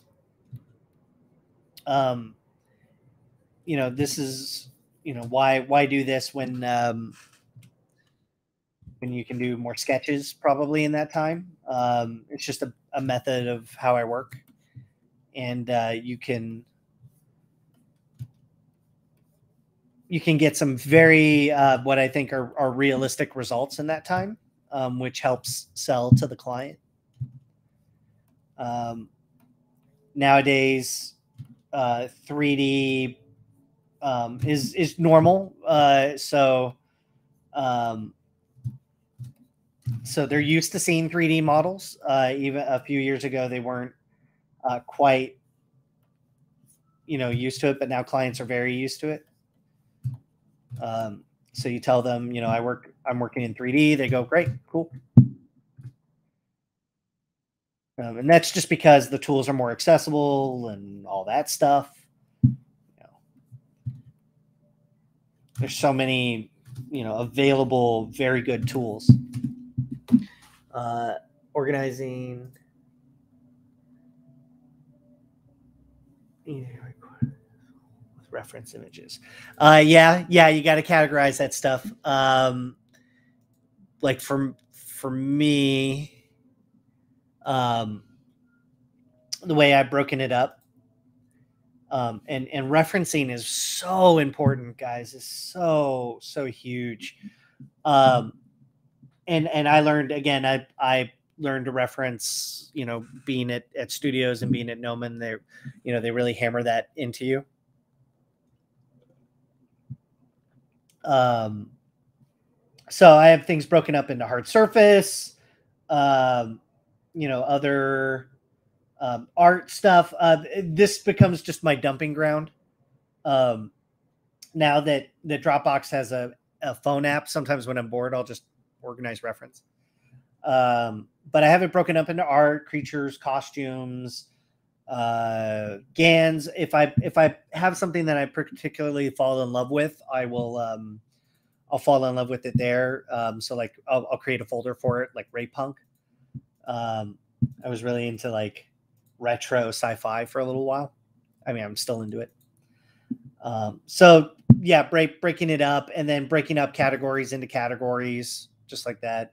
Um, my anatomy folders are just you know I've built up over the years um, bodybuilders, reference packs, uh, uh, drawings that other artists have have gra- you know um, resolved as well. Because um, I I want to see how other artists resolve form. Um, you know, what it doesn't matter if it's a drawing or a painting or you know whatever it is. I'm I'm, I'm collecting it. Um, I can be a little bit. I don't know if that's obsessive, but um, but also um, anatomy for sculptors they're they're huge um, their their kind of anal- analysis of, of form and all that stuff is just uh, it's incredible so um, highly recommend uh, uh, that and um, organizing um, all that stuff. Um, Arcane, I started it. I have not, I have not uh, dived into that yet. Um, I got to be honest. The the Riot style is is not not for me really. Um, that you know, I I totally get you know why why people like it. Um, I got viewers dropping off. No, um, uh, no, Riot Riot's. Uh, I think it's a very particular style, and I and I think um, it's very cool, and it's it's obviously um, well crafted. I, I just it's not it's not what I'm into. You know, it's not for me. And I I, I might. It's probably because I'm old. Right? Or not. I don't know. Um, I'm glad it's doing. You know, I'm glad it's doing well. Because all all animation when when you know when that's doing well, it's it's good for everybody in animation. yeah, you know, like um, uh, I'm glad people are loving it. Um, I, I I don't know what it is particularly about it that that it's I I I don't know why it's for not for me. Um, I think it's I, I think it's just giant armor doesn't uh, it's not my thing. I don't know. Um, and then this is probably because I've not done any research into the series. Like League of Legends, I don't know anything about that. I'm, I, hey, people love it. That's that's awesome. You know, um, because all of that is good for everybody. You know, find something you love, support it support artists, be passionate. So now I'm kind of just noodling about. Um, now that I've got kind of the major features in there, I'm I got to kind of work on the silhouette a little bit. Get the pelvis to kind of line up a little better all of my creatures tend to be neutered anyway. Well, but sometimes I'll put a little uh, south mouth in there. A little south mouth.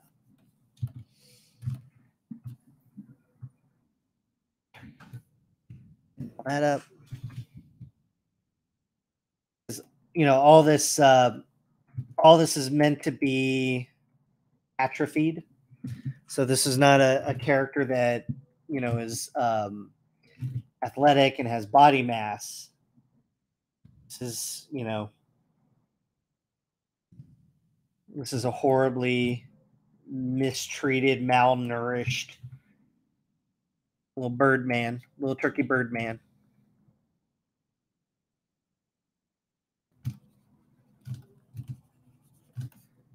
And we're gonna sculpt in the legs here Get the calf muscles to blend. And just lining, you know, all, all I'm really doing is just sketching out the muscles here. And I just kind of repeat over that over and over again until it eventually looks right. But silhouette is your number one kind of thing to keep your eye on. Uh, keep a tight, clean silhouette. And then everything you do within that silhouette, it, you know, it's the shapes within the shapes.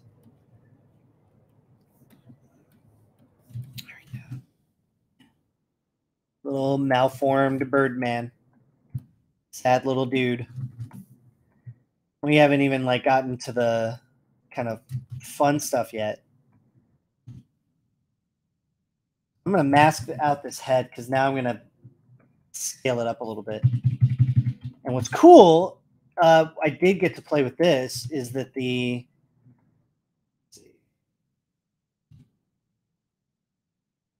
we play with a little bit of the um, the focal shift. So uh, focal shift now works with um, the gizmo.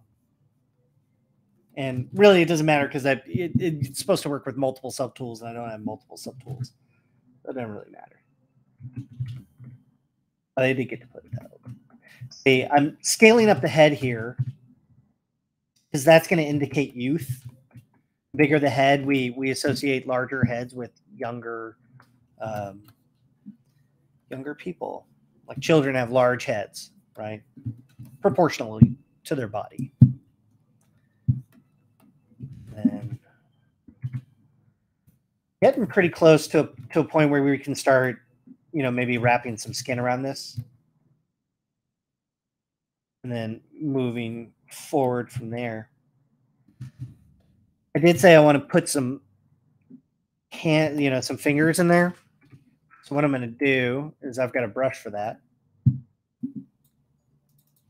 You can see how my brushes are laid out as well. I will buy brush packs. I will, um, you know, do whatever is necessary. Um, at least for you know on a per project basis, I will like if there's a thing that's going to help me, you know, a cloth or a stitch brush, buy it.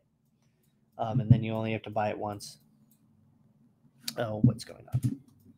There we go. So I have uh, I have a brush that I made, and and of course, making brushes yourself is uh, extremely gratifying. And then you don't have to spend any money, but you got to do that work up front. So I've got, where are you?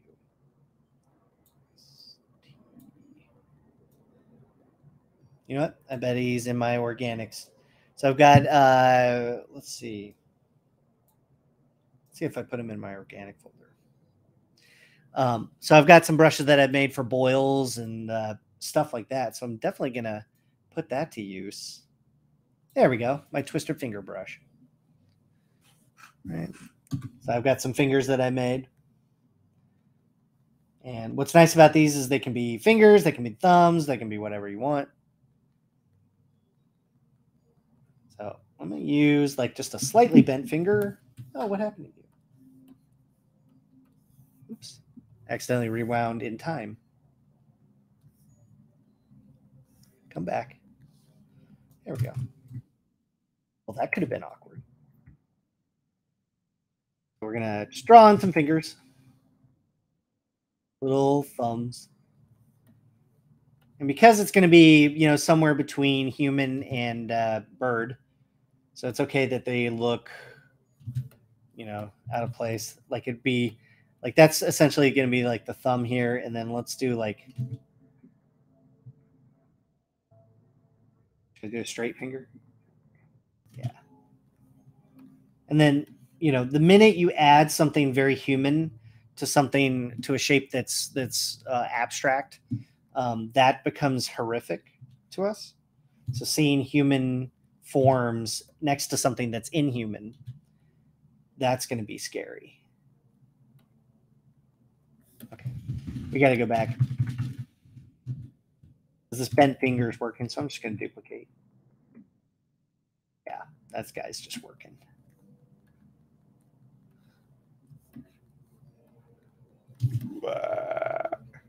This guy is just only known suffering.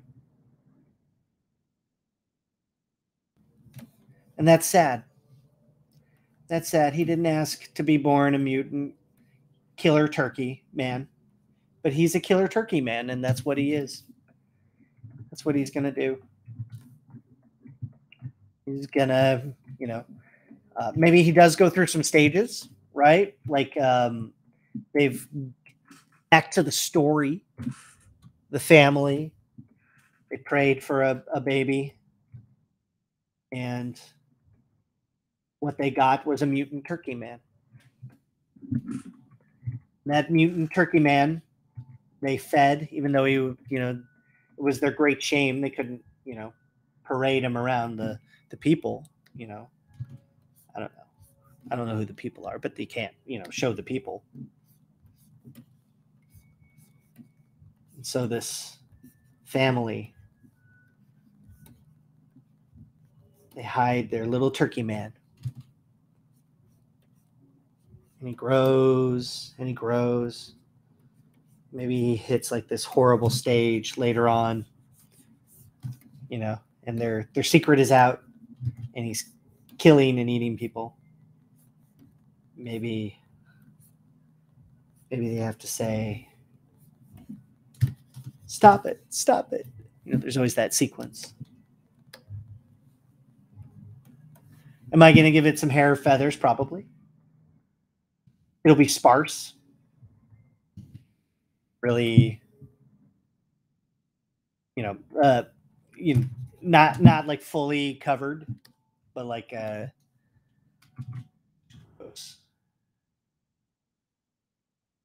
sparse and. Need to get them shoulder blades up. There we go.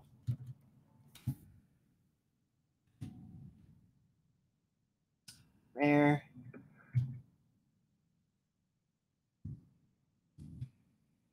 Killer Turkey Man. It's, it's not his fault. Maybe that's the tagline. It's not his fault. Damn you, Turkey Man. What did they name him? You know, what did what did they name their turkey boy?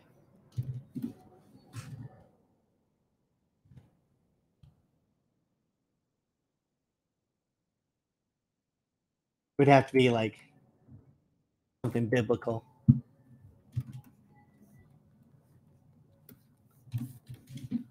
It'd be like Ezekiel or Zeke. No. Not gonna name your turkey man Zeke. Zeke the turkey man. I beg your pardon. Uh, I like my I like my original one, uh, which is uh, Gobble Gobble Murder. Methuselah. It'd have to be like Luke or Paul or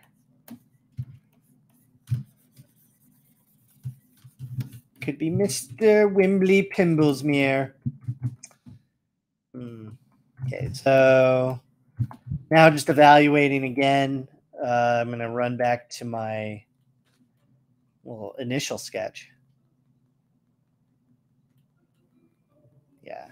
Okay, so that's interesting. Um, now that I see that, I'm going to shrink the pelvis a little bit. Shrink the legs and pelvis together. I have a focal shift turned on.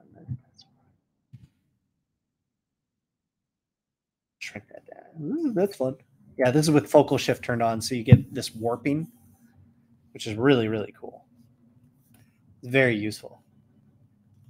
Actually, that that kind of works as opposed to shrinking the whole thing down. Maybe if I turn that off, yeah, that just scales it all down now. I actually like a little bit of that warping. We'll do a little bit of warping and then a little bit of scale. And then I'm going to uh, keep tilting the body around like this. We're going to arch that back here.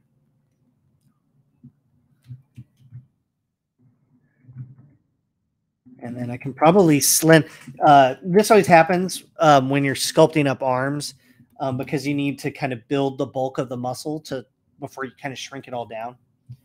So I'll I'll kind of bulk up the arms a little bit uh, while I'm sculpting, and then eventually I'll I'll kind of shred it down a little bit and continue to pinch until it's.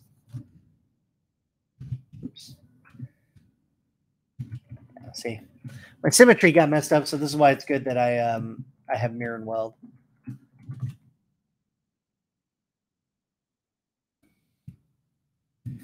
So we're just slowly kind of creeping it into the into the position and kind of sculpting it position wise.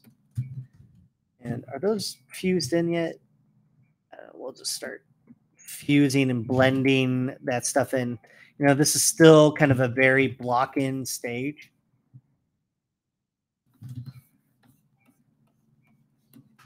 So now we're we're getting close. And I'm going to mute down a lot of these scales. These scales are would be something um, that would be happen if he was a little bit more developed. But I'm going to keep these scales, you know, kind of fleshy, and even melt down the nails a little bit. This is, you know, something that's a little less developed. And I'll probably even replace these, you know, throw in some like human toes next to them. Just so there's like some contrast between the the bird parts and the the human kind of blend. Because if you go too creaturey, then it all becomes kind of unrecognizable. Now I'm just kind of working on that arch.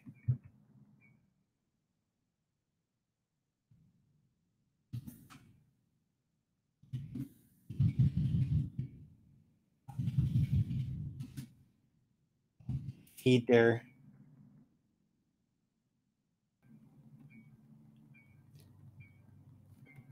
This is like definitely like a cottage core kind of creature something that would be like an A24 or uh, in a neon.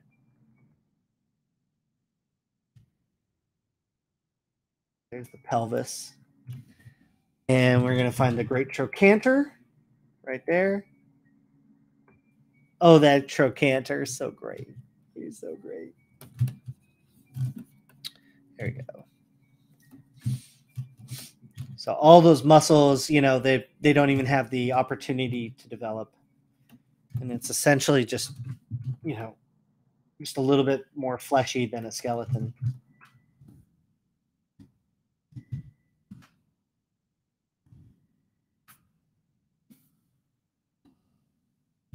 Just kind of assemble your piece and then you know sculpt it into what it needs to be work simple to complex. Start simple,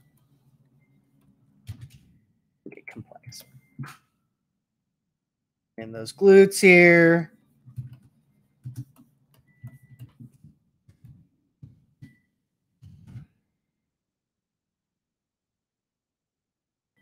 Jedediah.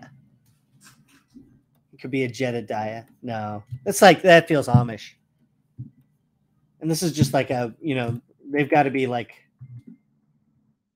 if you're thinking about reasonable casting this would be um if it's modern day right? Because the story we developed is that they were living next to a nuclear power facility. That would obviously change story pulling pulling these forms, these little web shapes.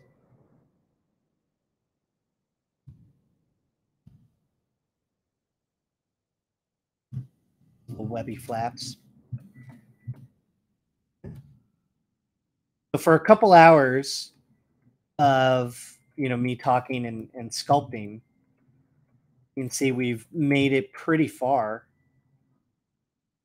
Gotten the whole kind of head and and body in there. Wings. Wings.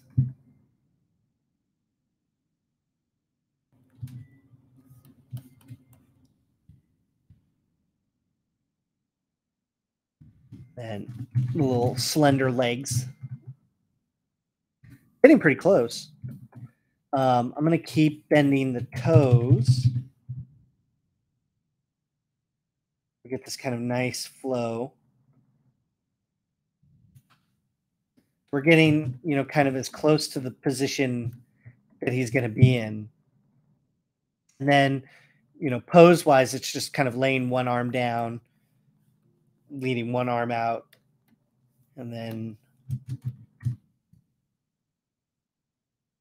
you know, folding the legs together. In a picture, it's like it's, it's kind of like like breathing very heavily. He's very cute.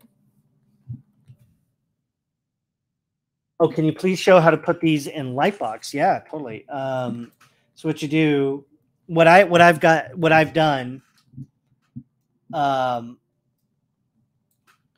is I've got my Z tools here. So I have my Dropbox. Um, in your Dropbox, I've created, you know, I've created a my ZBrush folder um, with all my Z tools in it. That so what I'm doing is I create a, a shortcut.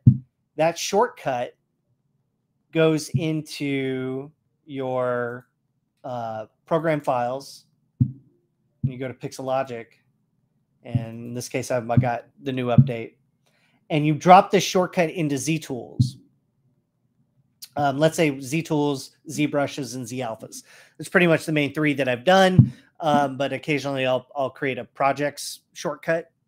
So that all goes in there, and then so when you open it up, there's your shortcut at the bottom, and that shortcut is um, what I'm going to for my library. So every time I save out, I'll save this as uh, what Thanksgiving, right? I'll save that as Thanksgiving. And now that I've saved that, I know that that's uploading to my cloud. And then when I go to my tools, you know, it drops, you know, I, I see my shortcut here, Z Tool shortcut. So I know where that's linking. And then now he'll show up right here. So what's nice about this this method is that you have a visual of your Z tool um, versus like having to look at file names because uh, I am not a file name person. Uh, like I can't look at a file name and like immediately know because I have terrible file naming skills. Um, but that's generally that's generally what I do. So the advantage is um, you get a visual representation in Lightbox, and then you, uh, and then you know it's uploaded, you know, to the cloud.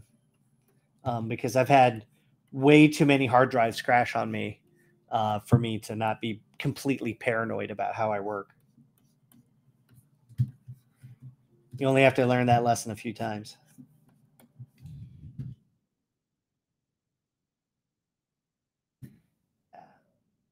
So we're just indicating where the muscles are again. You know, you just keep kind of re-sketching uh, the same areas over and over again um, until you find the shapes that you like. Right? Just keep working them, uh, you know, working over those shapes. Kind of, and then slowly it kind of starts coming together. So there's the infraspinatus here, which is travels all the way down here teres major, teres minor, latissimus dorsi, traveling all the way back down here. Indication of the lumbar spine, the two spinal erectors that cushion the spine, keep it into place.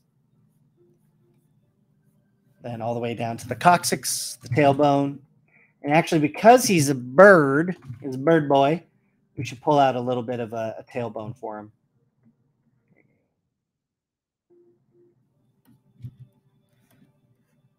Some people are born with vestigial tails, which is terrifying. Nowadays they can remove it, but once you kind of once you learn what like you know you see pictures of vestigial tails, go ahead look it up. Um, you know you can see how people came up with myths like demons and you know other things. Once you kind of know the horrifying truths of medical history, uh, a lot of legends start to make sense. Subcutaneous horns, you know, which is just keratin. It's nails that are growing out of the head. You can look up that one too. Cutaneous horns. I'm going to teach you all the horrible things, and I'll let you look it up. So there's a little torso here, and I can just, you know, I, I, there are times when I wish I could animate because it'd be fun to see his little like, you know, his little chest kind of moving and breathing. I always kind of, you know, even though I don't get to um, rig and animate characters, I can I can visualize how they're you know going to move or or breathe.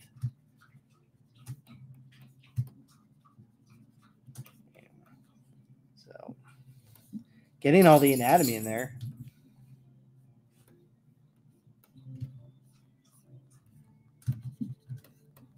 And his ears are, uh, you know, I've, I've kept the ears in place, and I and I'm they might be like the one perfect thing about him, like the one thing that really functionally works. How horrific would that be? You know, he's got to listen, you know, uh, to people talking about him. Like his parents are standing outside the, the barn, and and maybe they're like debating, you know, do we kill this thing? You know, we love him. Oh, and he's got to listen to all of it that's that's what makes something tragic you know this is definitely a tragic creature and eventually he would break free and slaughter his family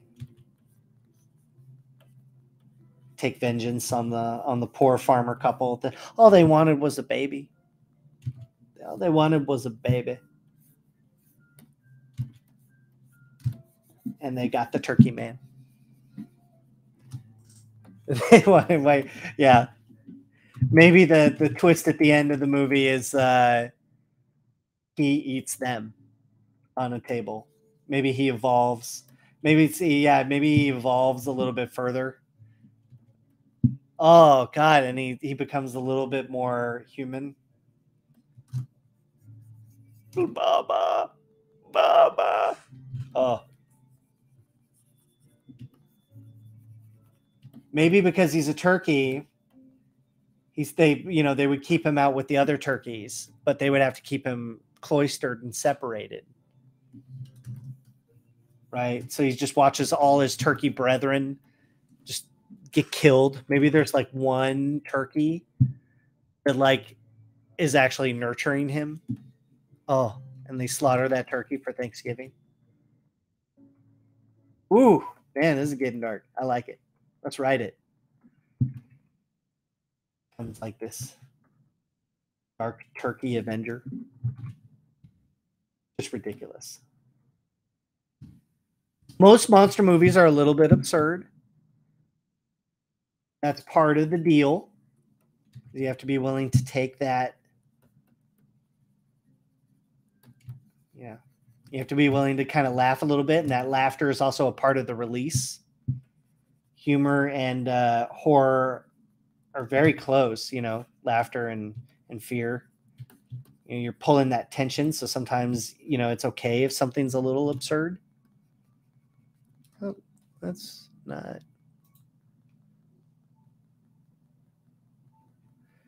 Let's see. Hmm. To become more human, he must eat people. I like that. Gives him a reason to kill right? That's another truism for for horror films is uh, you got to have a lot of kills. And that's um that's actually a, a, a written thing that studios are looking for is they want um, a kill about every 10 pages. So if you think about a um, about a horror movie, slasher movie, just about generally every 10 pages, they'll have a kill. And this, you know, of course, depends on the genre.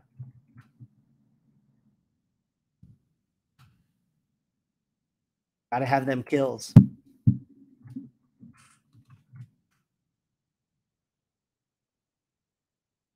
I watch a, uh, you know, in, in addition to, uh, you know, watching artist blogs and um, you know everything like that. I I watch a lot of um, videos on production, on um, on writing for production, on storyboarding, uh, cinematography.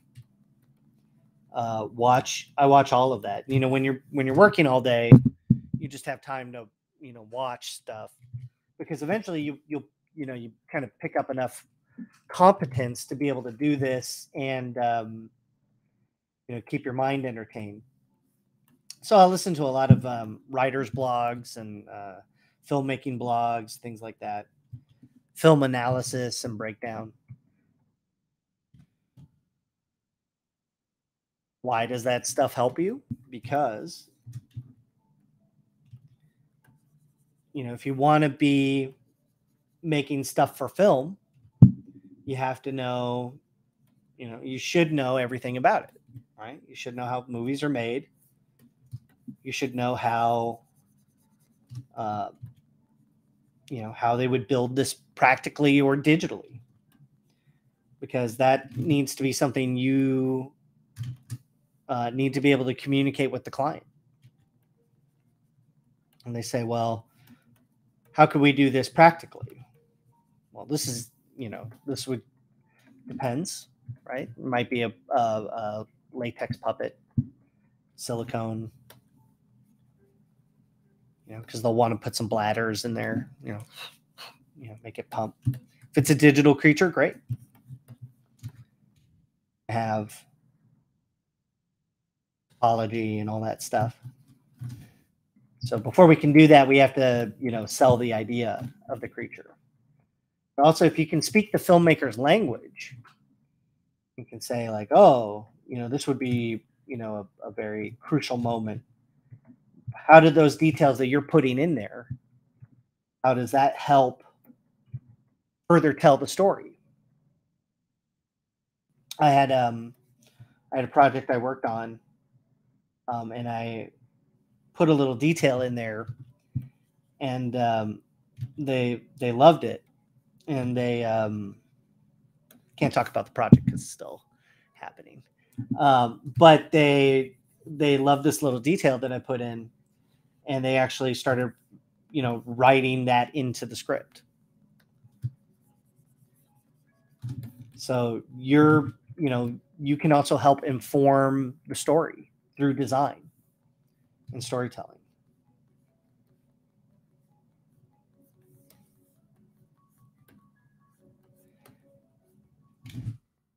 In order to do that stuff, you have to understand storytelling and design and story structure. You know, um, most of the time, your creature is not going to be the featured thing. You're, you know, it's going to be about the the people around the creature and then your creature is going to make some kind of entrance or or something. Now, I don't think that always has to be the case. I personally would love to see um, creatures as characters, you know, have a bigger part in the story. A lot of people feel like, uh, you know, once you show the creature, you know, all the magic is gone, right? The fear is no longer there. right? That's why so many uh, movies and features are, you know, they're they're hidden. You know, they hide the creature away until about the third act, and you get your you get your big reveal. The creature steps out into the light.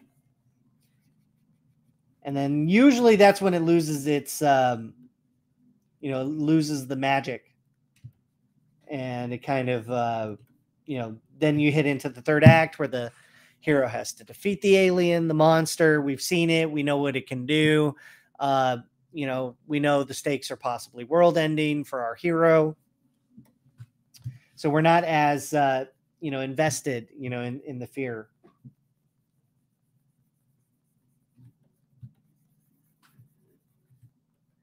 Yeah and then and then you've seen the creature. You're like okay I've seen it, you know, and then you start, what do you start doing? You start doing that, um, that thing where you just compare it to everything else. And you're like, oh, it looks like this. Right. Yeah. Pumpkinhead is amazing. Um, awesome. Such a cool creature. And what's cool about Stan, um, Stan Winston, you know, directed it. He um, he knows how to shoot the creature and how to cut. Um, that's what I think a lot of um, horror directors aren't comfortable with uh, today, at least shooting practical. Um, but I think practical done right is just gorgeous. Um, yeah, Super 8 reveal. I love. I actually, I really like Super 8. Um, that was Neville Page designed that one, I believe. And Neville, of course, has amazing creature anatomy. His like his his anatomy can be really unique. He's always really really good at it.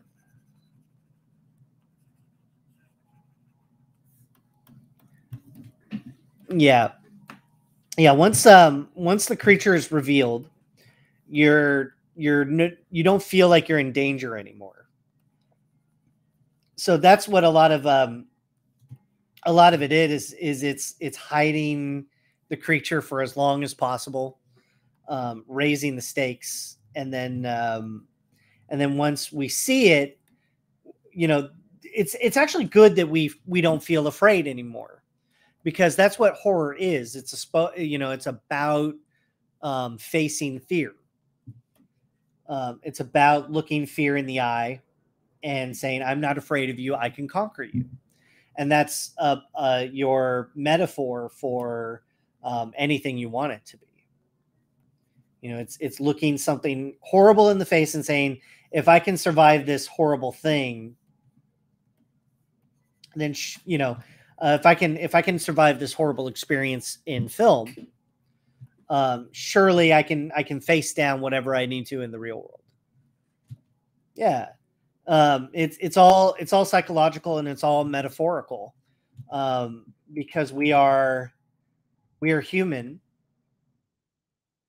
And humans um, we we really think about we respond really well to metaphor um, as a means of of coping with you know the trauma of existing you know because uh, you know life is is hard and it doesn't matter who you know who or whatever you are um we all have a great struggle.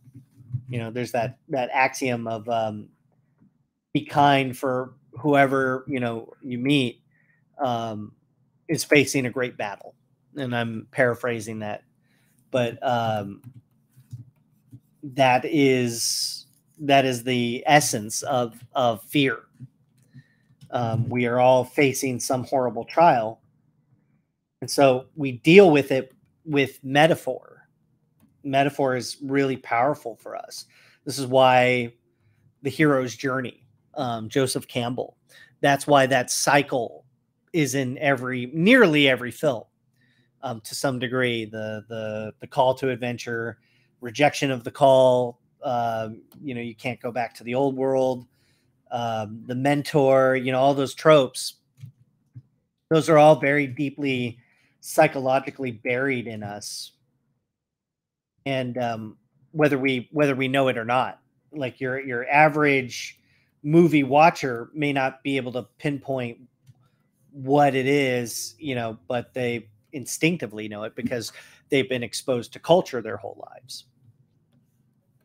So, horror in particular, where creatures appear, um, usually have to do with the, the, the hero's journey, who the hero is, um, what their what their unique um, experience is in uh, and and how the creature relates to that experience. So that's what's going to really um,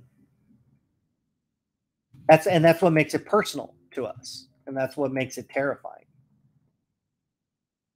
So as long as you can take your story, your creature, and give it that kind of personal touch to it, um, it's going to make it even scary. Now, your viewer, whoever you is looking at your art, they're not going to know your story. Um, they don't have the access to your mind, um, to your, uh, you know, to your to your thought process. So you have really 0.3 seconds uh, before your viewer has made up their mind and um, you know because we're we're doing this on our phone, right? We're scrolling, so you have a very short second window of time to to capture your your viewer's attention. So what's going to capture their attention? What's going to make them stop on your image and look at it? Well, obviously, good execution, right? If it, you know, if it looks like it was well made and well crafted and thought about. Um, if there's a story in there, you know, what what's going to keep them there? I think um, if you're looking at fan art, um, you know, the, the process is a little different because you're like, oh, I know that character. How did that artist execute that character? And so I think fan art's a little bit easier because we all know XYZ character. But if you're doing any kind of other art, you're going to have to get their attention, It's very hard.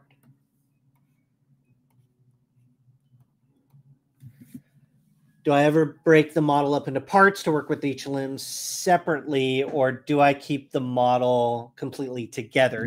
It depends. Um, uh, sometimes I will do. I'll just you know hide selections and just work that way. Uh, now that um, Sculptris works, you know, with uh, with visibility, then um, then I'll I'll do it like that. Um, so yeah, sometimes I'll break it up. Sometimes I'll keep it all together. It kind of depends character from It is a good example of fan art. Yeah, absolutely. Well, it, it happens whenever um, XYZ popular thing happens. Um, you'll see this explosion in fan art. And um, that's because uh, one, people love XYZ thing and they, they want to create and share in that kind of community um, that is created, you know. It's like been Baby Yoda, man. Uh, Baby Yoda got made, and, and you know, fan art everywhere, everywhere was was Baby Yodas, um, and that's awesome. You know, people are um, they're excited and they want to share and want to make and create and be a part of it. Um, so that's fan art. So fan art is a little bit different. It's a you know we consume fan art differently, I think, than we consume other kinds of art.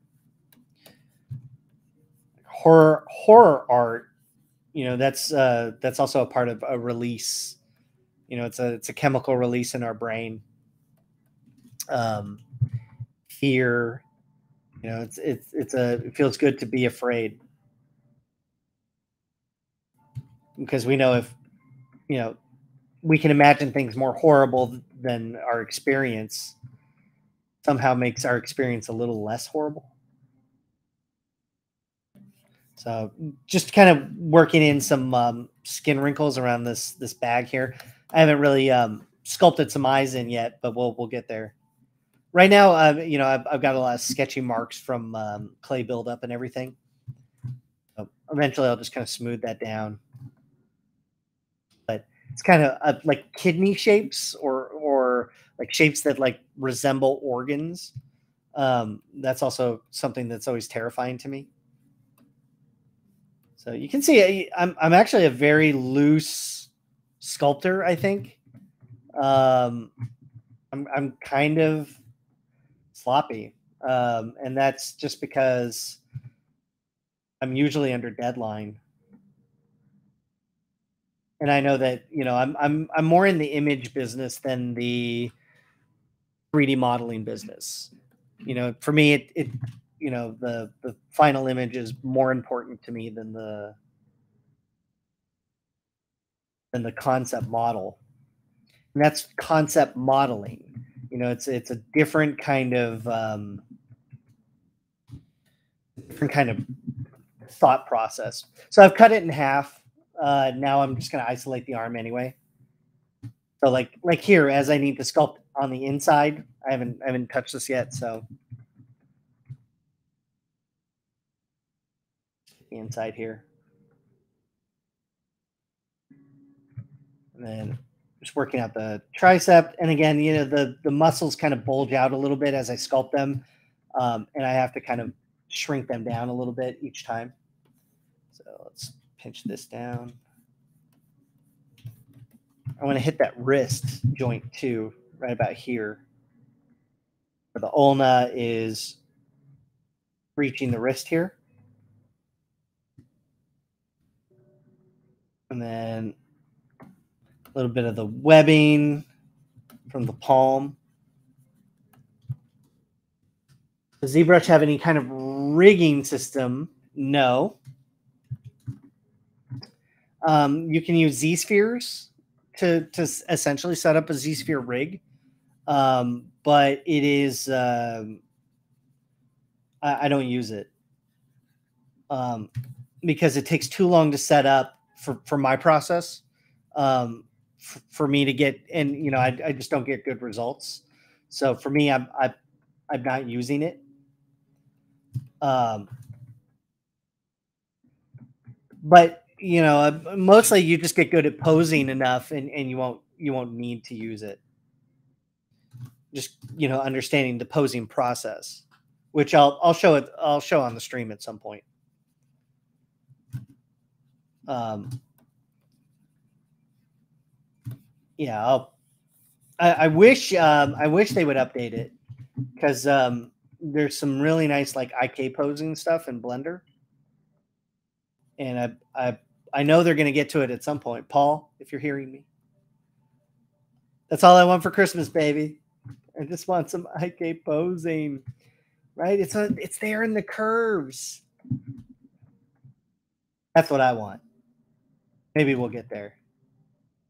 Oh, thank you so much. Yeah. Oh, I got lots of tricks. You guys stay tuned. I got all the goodies. We're we're barely scratching the surface here but you know, this is it's fun.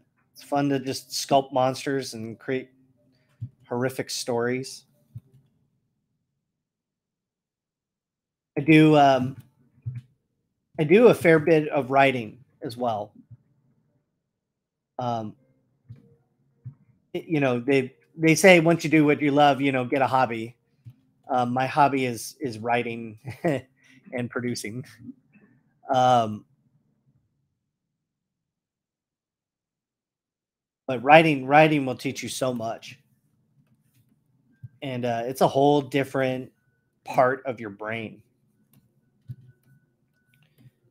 so practicing writing um, and writing is going to make you uh, writing is going to make you a, a, much stronger concept artist as well yeah i i want some ik posing please Not that you know, not that um, transpose. You know, transposing is pretty easy. I get you can pose something pretty quick now. It just it just sucks because I I want because I've I've seen it, I've seen it, and I know I know it's out there. So it's like me happy. A little hole in there. Ooh, close. There we go. Okay. So in like a short time, we've got like the most of the muscles kind of developed. I think I'm probably ready to start kind of creeping up on resolution a little bit more. Creep up on that a little bit. Dynamesh. All right, so I'm about like 2.7 mil. I'll lower that just a little bit. Okay, so I'm at 1.5 now. Um, I'm gonna pretty much stay off of Sculptris now. That's not true. I'll probably go back. I love you, Sculptris. Don't ever leave me. But now I've got parts in there. What is the subject of the evening? Hello, Neil. Welcome. The subject of this evening is Thanksgiving Gobble Gobble Murder.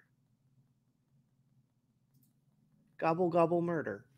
Uh, so this is a um, this is a horrible leftover. Um, the story that we've developed is that uh, uh, a farming couple Um, they wanted to have a baby. They prayed so hard for a baby, and the night that uh, baby was conceived, there was a horrible nuclear accident nearby, and a toxic gas was released that they inhaled, and they uh, they didn't know this because they're a simple farming couple, um, detached from the internet. Uh, you know, living in isolation, just living off the land and and living for each other. And they they wanted to have a baby to share their lives with, and so they prayed so hard for a baby. And they damn you DuPont. Um, and so this chemical cloud was released. They didn't know they didn't know it. Maybe it, it happened while they were sleeping. You know, slumber. You know that that sweet slumber. Uh, so they go through a, a, a normal nine month birth, you know, preparing the room, doing all the right things. You know, he's building the the the room or he's building the crib and maybe he's like great at woodworking. And um, the night comes and they have their baby she has it in a bathtub, you know, and uh, when he finally pulls the the baby out of the water, it's horrible, Turkey Man baby, and they're horrified. They're horrified about what their their little baby looks like. So, not knowing what to do with their new horrific child who they loved and they prayed for, they shiloh'd their baby away to to the barn with all the other turkeys. And they built a little room for him out there in the turkey barn. They still love him. better, than a Gary Busey gingerbread man. Yes. uh, yes, the mommy survives. They both survive and they're they're torn because you know maybe they've been trying for a, a baby for a long time and um, and this is everything that they've ever wanted you know it's it's the thing that they want most so this is something that happens in stories where the protagonist gets something that they want at the same time they get something that they don't want and so that's as an essential conflict. Um, and you'll find this uh, is very universal throughout films as well. Your character gets something that they want and something that they don't want. And so obviously they're they're terrified of their freakish turkey man baby. And so they start they they don't know what to do. Maybe there's a couple times where they break down and they're very close to killing it. You know, because it's a horrible abomination. You know, it's not right before God. You know, they're very religious, very pious people. So they don't know what to do. Uh, maybe uh, you know because we got to now we have to involve the town here there's pretty good bridge add-on for Blender to send ZBrush to GoZ. Um, yeah, hey Jack, uh, uh, there is a a GoZ. Uh, that was a very quick question flash. I won't do that. Um, there is a there's a GoZ plugin to Blender. Um, I'll, I'll just tell you right now, I just I don't have time. I don't have time to like GoZ something. Um, you know, I would love to be able to to take stuff into Blender, but um, in truth for my process when i'm on when i'm on crunch i, I do not have time and I, I that's probably because i also haven't spent the time to to prepare that that workflow but for me it's not worth it to to export to any other program because i am so i'm usually under a, a, a crunch you know uh, concept art in, in illustration, like illustration, you have a, a ticking clock, but it's like down the hall and you have to squint to see it. Um, concept, you know, that ticking clock is in your face, like right in front of you. And it's just like, you know, you got deadlines. You got deadlines you got to hit.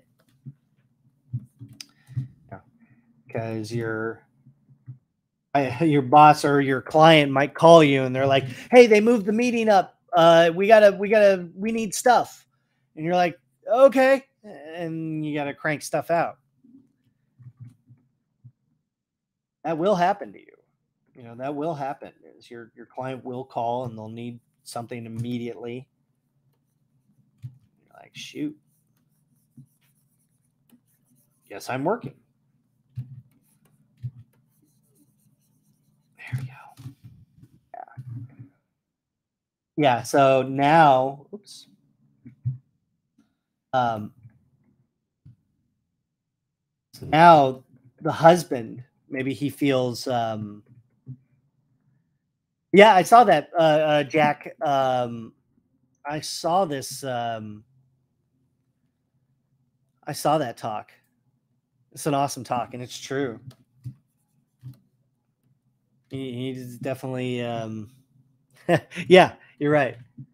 Uh, it, it's a great talk. Yeah, everything has to be very polished now and and um, faster and less time.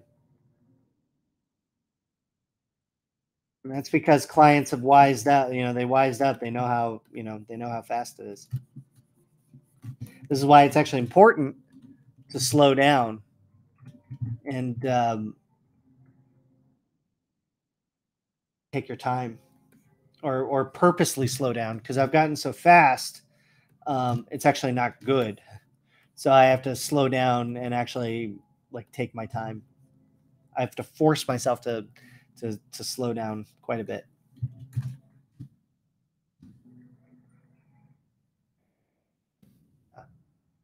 so maybe the husband he um he goes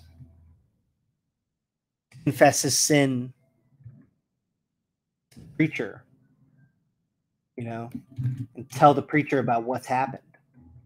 Because he feels so guilty that he's brought this horrible abomination into the world. You know, he's also taught that uh, everything, you know, is, is, God's creation and you have to love it. So maybe he's um, he's very conflicted so he goes to uh yeah Eraserhead yeah definitely yeah heck yeah. Got to um look everything's an homage to everything else. So you know embrace that. It's, it's like it's like Eraserhead but this. It's like Eraserhead meets lamb. Or um i mean really this is actually um the Dun, you know, there's a little bit of Dunwich horror in here too. But yeah, the um, husband he he goes to the preacher and confesses his sin about wanting to kill his creation, you know, what he's brought into the world. And maybe at first the the preacher is a little skeptical or or not skeptical, but maybe suspicious, you know, of uh, because of how the this guy's telling him this this sin, this story. And so he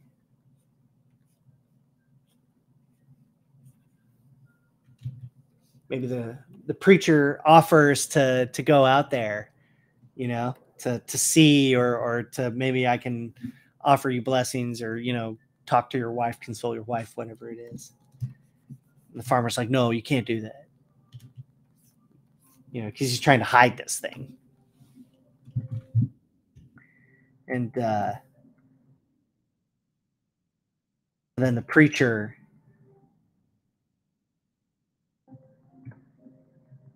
preacher sneaks out to the farm to go see for himself. And that's when he hears this horrible shrieking cry of the turkey man.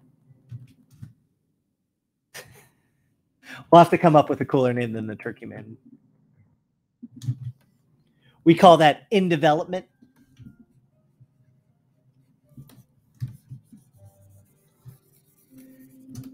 But it would be cool because maybe uh, so you got to add more conflict in there, more and more conflict. So maybe the preacher was supposed to, you know, hold a, a mass, you know, that night or something, and he doesn't show up. And so the the townspeople are worried. And maybe like the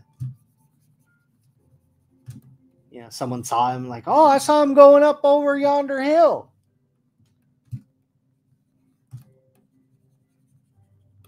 Townspeople have to go there to see it, you know. I don't know. We'll have to we'll have to work that. We'll, we'll workshop that a little bit and sees the farmer killed. Mm, that's interesting. It's a good twist. Yeah, ultimately it's got to be, you know, the the couple they have to survive. You know, now their creation gets out.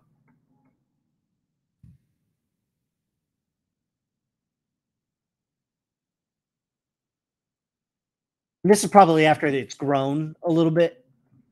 You know, this is, you know, creatures also we like to see stages of growth as well. You know this would be this is obviously like first or second stage. This is probably like we would say second stage. Um you know the first stage would be the the baby um where it would look you know we would see it and we would see like the beak or something like that. And then we would um we would see that and then this would be the in the barn stage you know where he maybe he's put it you know out into the barn with the turkeys. It's very silly when you put turkeys into any equation. But we're going to take it seriously. Maybe the uh there might be one stage after this uh like a, a child stage. And then we would see like the grown Turkey Man stage, which would probably be more, you know, standard bipedal, probably the dude in a suit kind of situation. So the first stage, the baby stage, would probably be a latex puppet, and then uh, this one could also be foam latex, and then a little CG augmentation on top.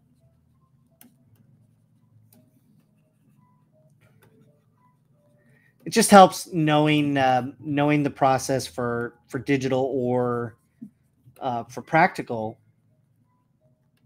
Because then you can just communicate that to the client you know because they they're looking to you for solutions.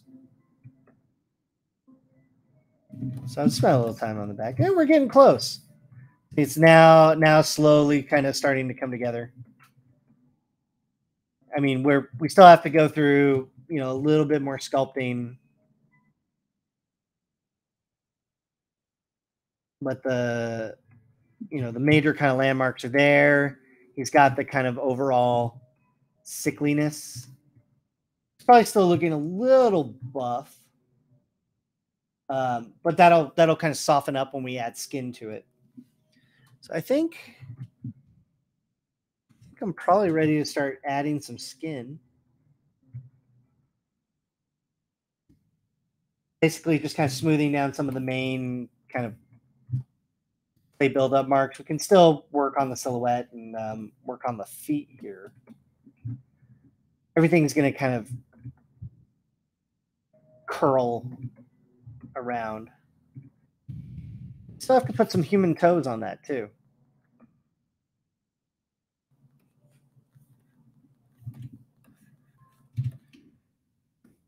This, line it up, curl the toe.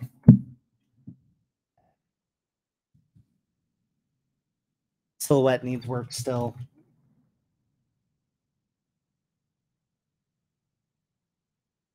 Ultimately, you know, this is we're going on, you know, almost three hours.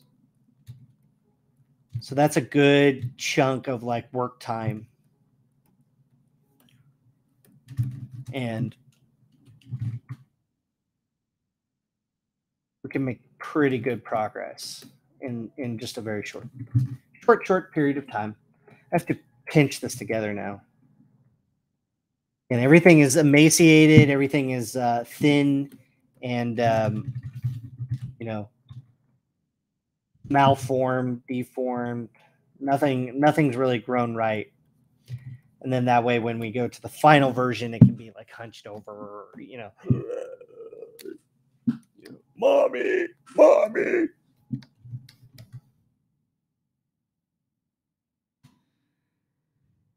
Poor tortured soul.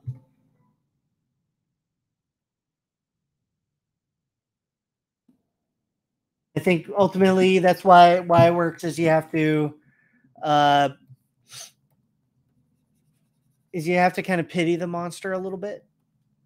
Yeah. You have to pity the monster, you know, and, and in a way even sympathize with it. The gobbler strikes. See, now this is a genre thing too we could do Thanksgiving, but it's a dude in a mask. You know what I mean? And he's the Thanksgiving Day killer, right? And he goes around stuffing people into turkeys, right? That's a whole different genre. We're doing the the monster movie. You know, when the in the slasher movie, the the the Thanksgiving slasher movie, he would be you know he would be a guy who had some traumatic event at a at a Thanksgiving Day dinner once, and then he would uh, he would go out and like put on a, a turkey mask and like kill people, right? And he does it with a carving knife, you know, one of those electric like, you know, and that's what he's doing.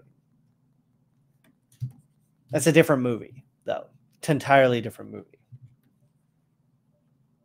in that movie he would be like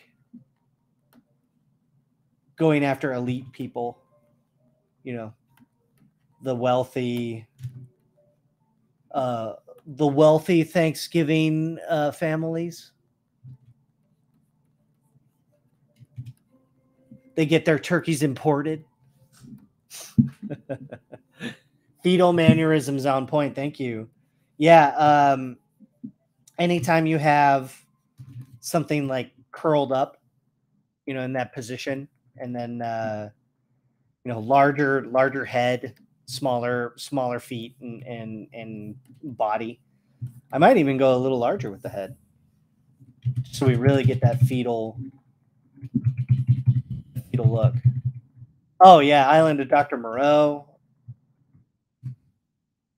100%. You know, there's there's so much in that um anytime you combine a, a human and animal together right human plus animal creates xyz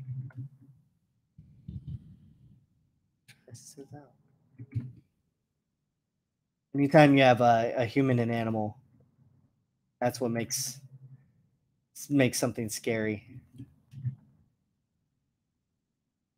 Yeah. So we got to curl this around even more. I love, by the way, I love Island of Dr. Moreau. I know it's not like the movie that um it like they expected it to be. I don't know. It and and like you know Brando was on set, you know, just improvising shit. Uh so I I it's it's if you watch that documentary, uh, the making of that movie, um, it's wild. Um, it's really wild. So I've I've heard horror stories, you know, about about it. Um, it, it's kind of one of those you know things of legend now, the making of that movie. But I I love it. It, it I love uh, Val Kilmer in it, and um, Fairuza Balk is in that as well.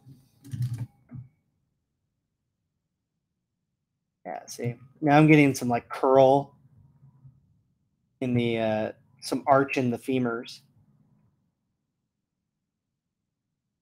A little bit of there. Little knee. Kind of sketching out where the knee knee's going. Probably use um, some of the scale brushes for this, but not all the way.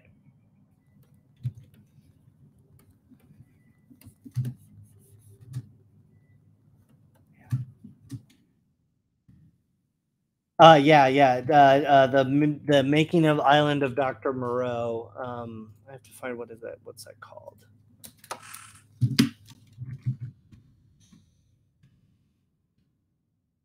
and I love the book too. I I read the book a lot. Um, making of Lost Soul. There it is. Um, it's called Lost Soul: The Doomed Journey of Richard Stanley's Island of Doctor Moreau. Um, great documentary on the making of uh, of that movie. Um, it's true. It's pretty wild, um, and and people that remember talking about it, um, and also the actors, you know, that have to go out there in these these makeups. Um, I, I, guess at one point Richard Stanley had hid in a tree because he didn't want to film, um, like like crazy stuff, like bonker stuff. Um, they also were filming during a hurricane uh, as well, so I mean, like, uh, just bonkers. But like, I'll tell you, man, I loved the makeups on that movie. Um, even even Brando, uh, Brando, you know, doing his Brando thing. It was, I mean, uh, bonkers. Um, but I mean, uh, the the the makeups on this were so cool and so elaborate, and like they must have just been so freaking uncomfortable shooting this stuff. Uh, you know, you have all these actors out there in like uh, you know, just crazy heavy, you know, hot costumes. I think also Stanley had done like a bunch of drugs um, as well. I, I think that's John. I don't know if that's John or not, but that's Shane Mahan. Uh, he's one of the co-heads of um, Legacy FX. Awesome dude. One of the coolest dudes. Um, I love everybody there, obviously, but um, just everyone is so cool. I, I love hearing those stories. Uh, I think it deserves. Uh, I think it deserves a little bit more credit. Uh, and I'll and I'll I'll go out saying that. I think it's a it's a better movie than uh, than it got credit for in in the day. Maybe I'll tweet about that tomorrow. We'll talk about it because uh, I love it. So, okay, so we're we're encroaching hour three. Um, you know, from where we started. I'm going to clone this. Let's go. Let's see if we can take it back to square one here. This is probably a terrible idea, and it's going to crash. Sometimes it's just fun to crash your machine. Crash ZBrush. Oh, it's on Tubi. Hell yeah. Tubi is awesome. Oh, there you go. Oh, it didn't take it all the way back. Just took it there. Anyway. Uh, let me let me see where that is on Tubi. Tubi is like has become one of my favorite streaming channels just because they got a lot of movies that probably aren't very popular.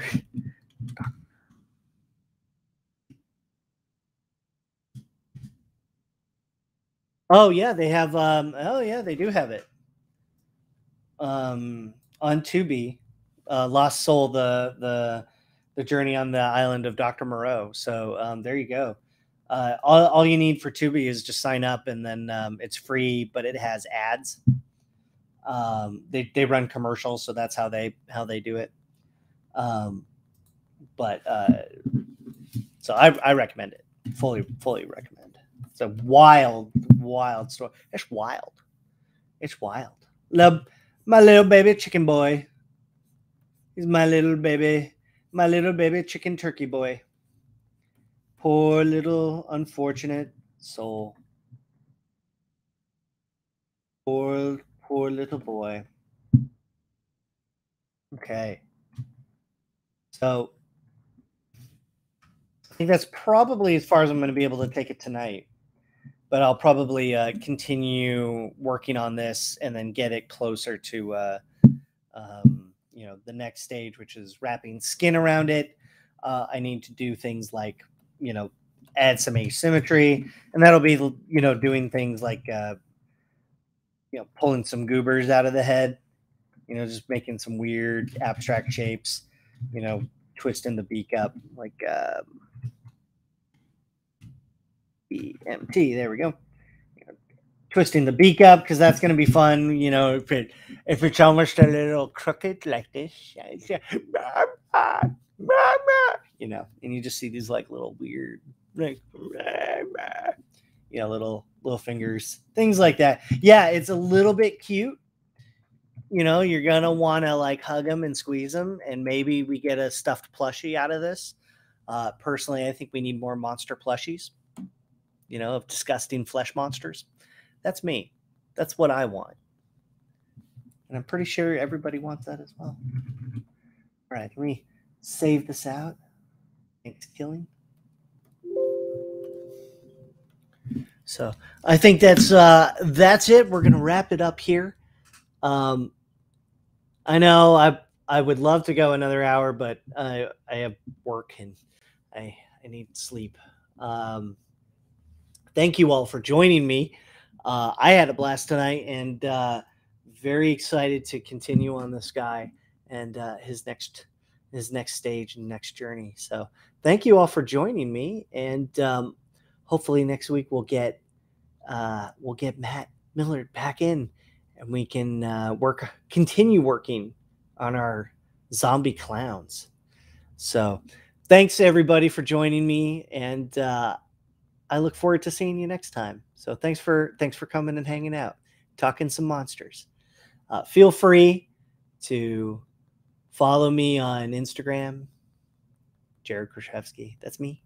me. Or uh, my Twitty, which is uh, at Monster Mash 042. So come say hi. Follow me for my dumb musings and all my shit posts. Thanks, everybody. Thanks for coming and hanging out. Have a good night. Get some sleep. And uh, I hope you're terrified.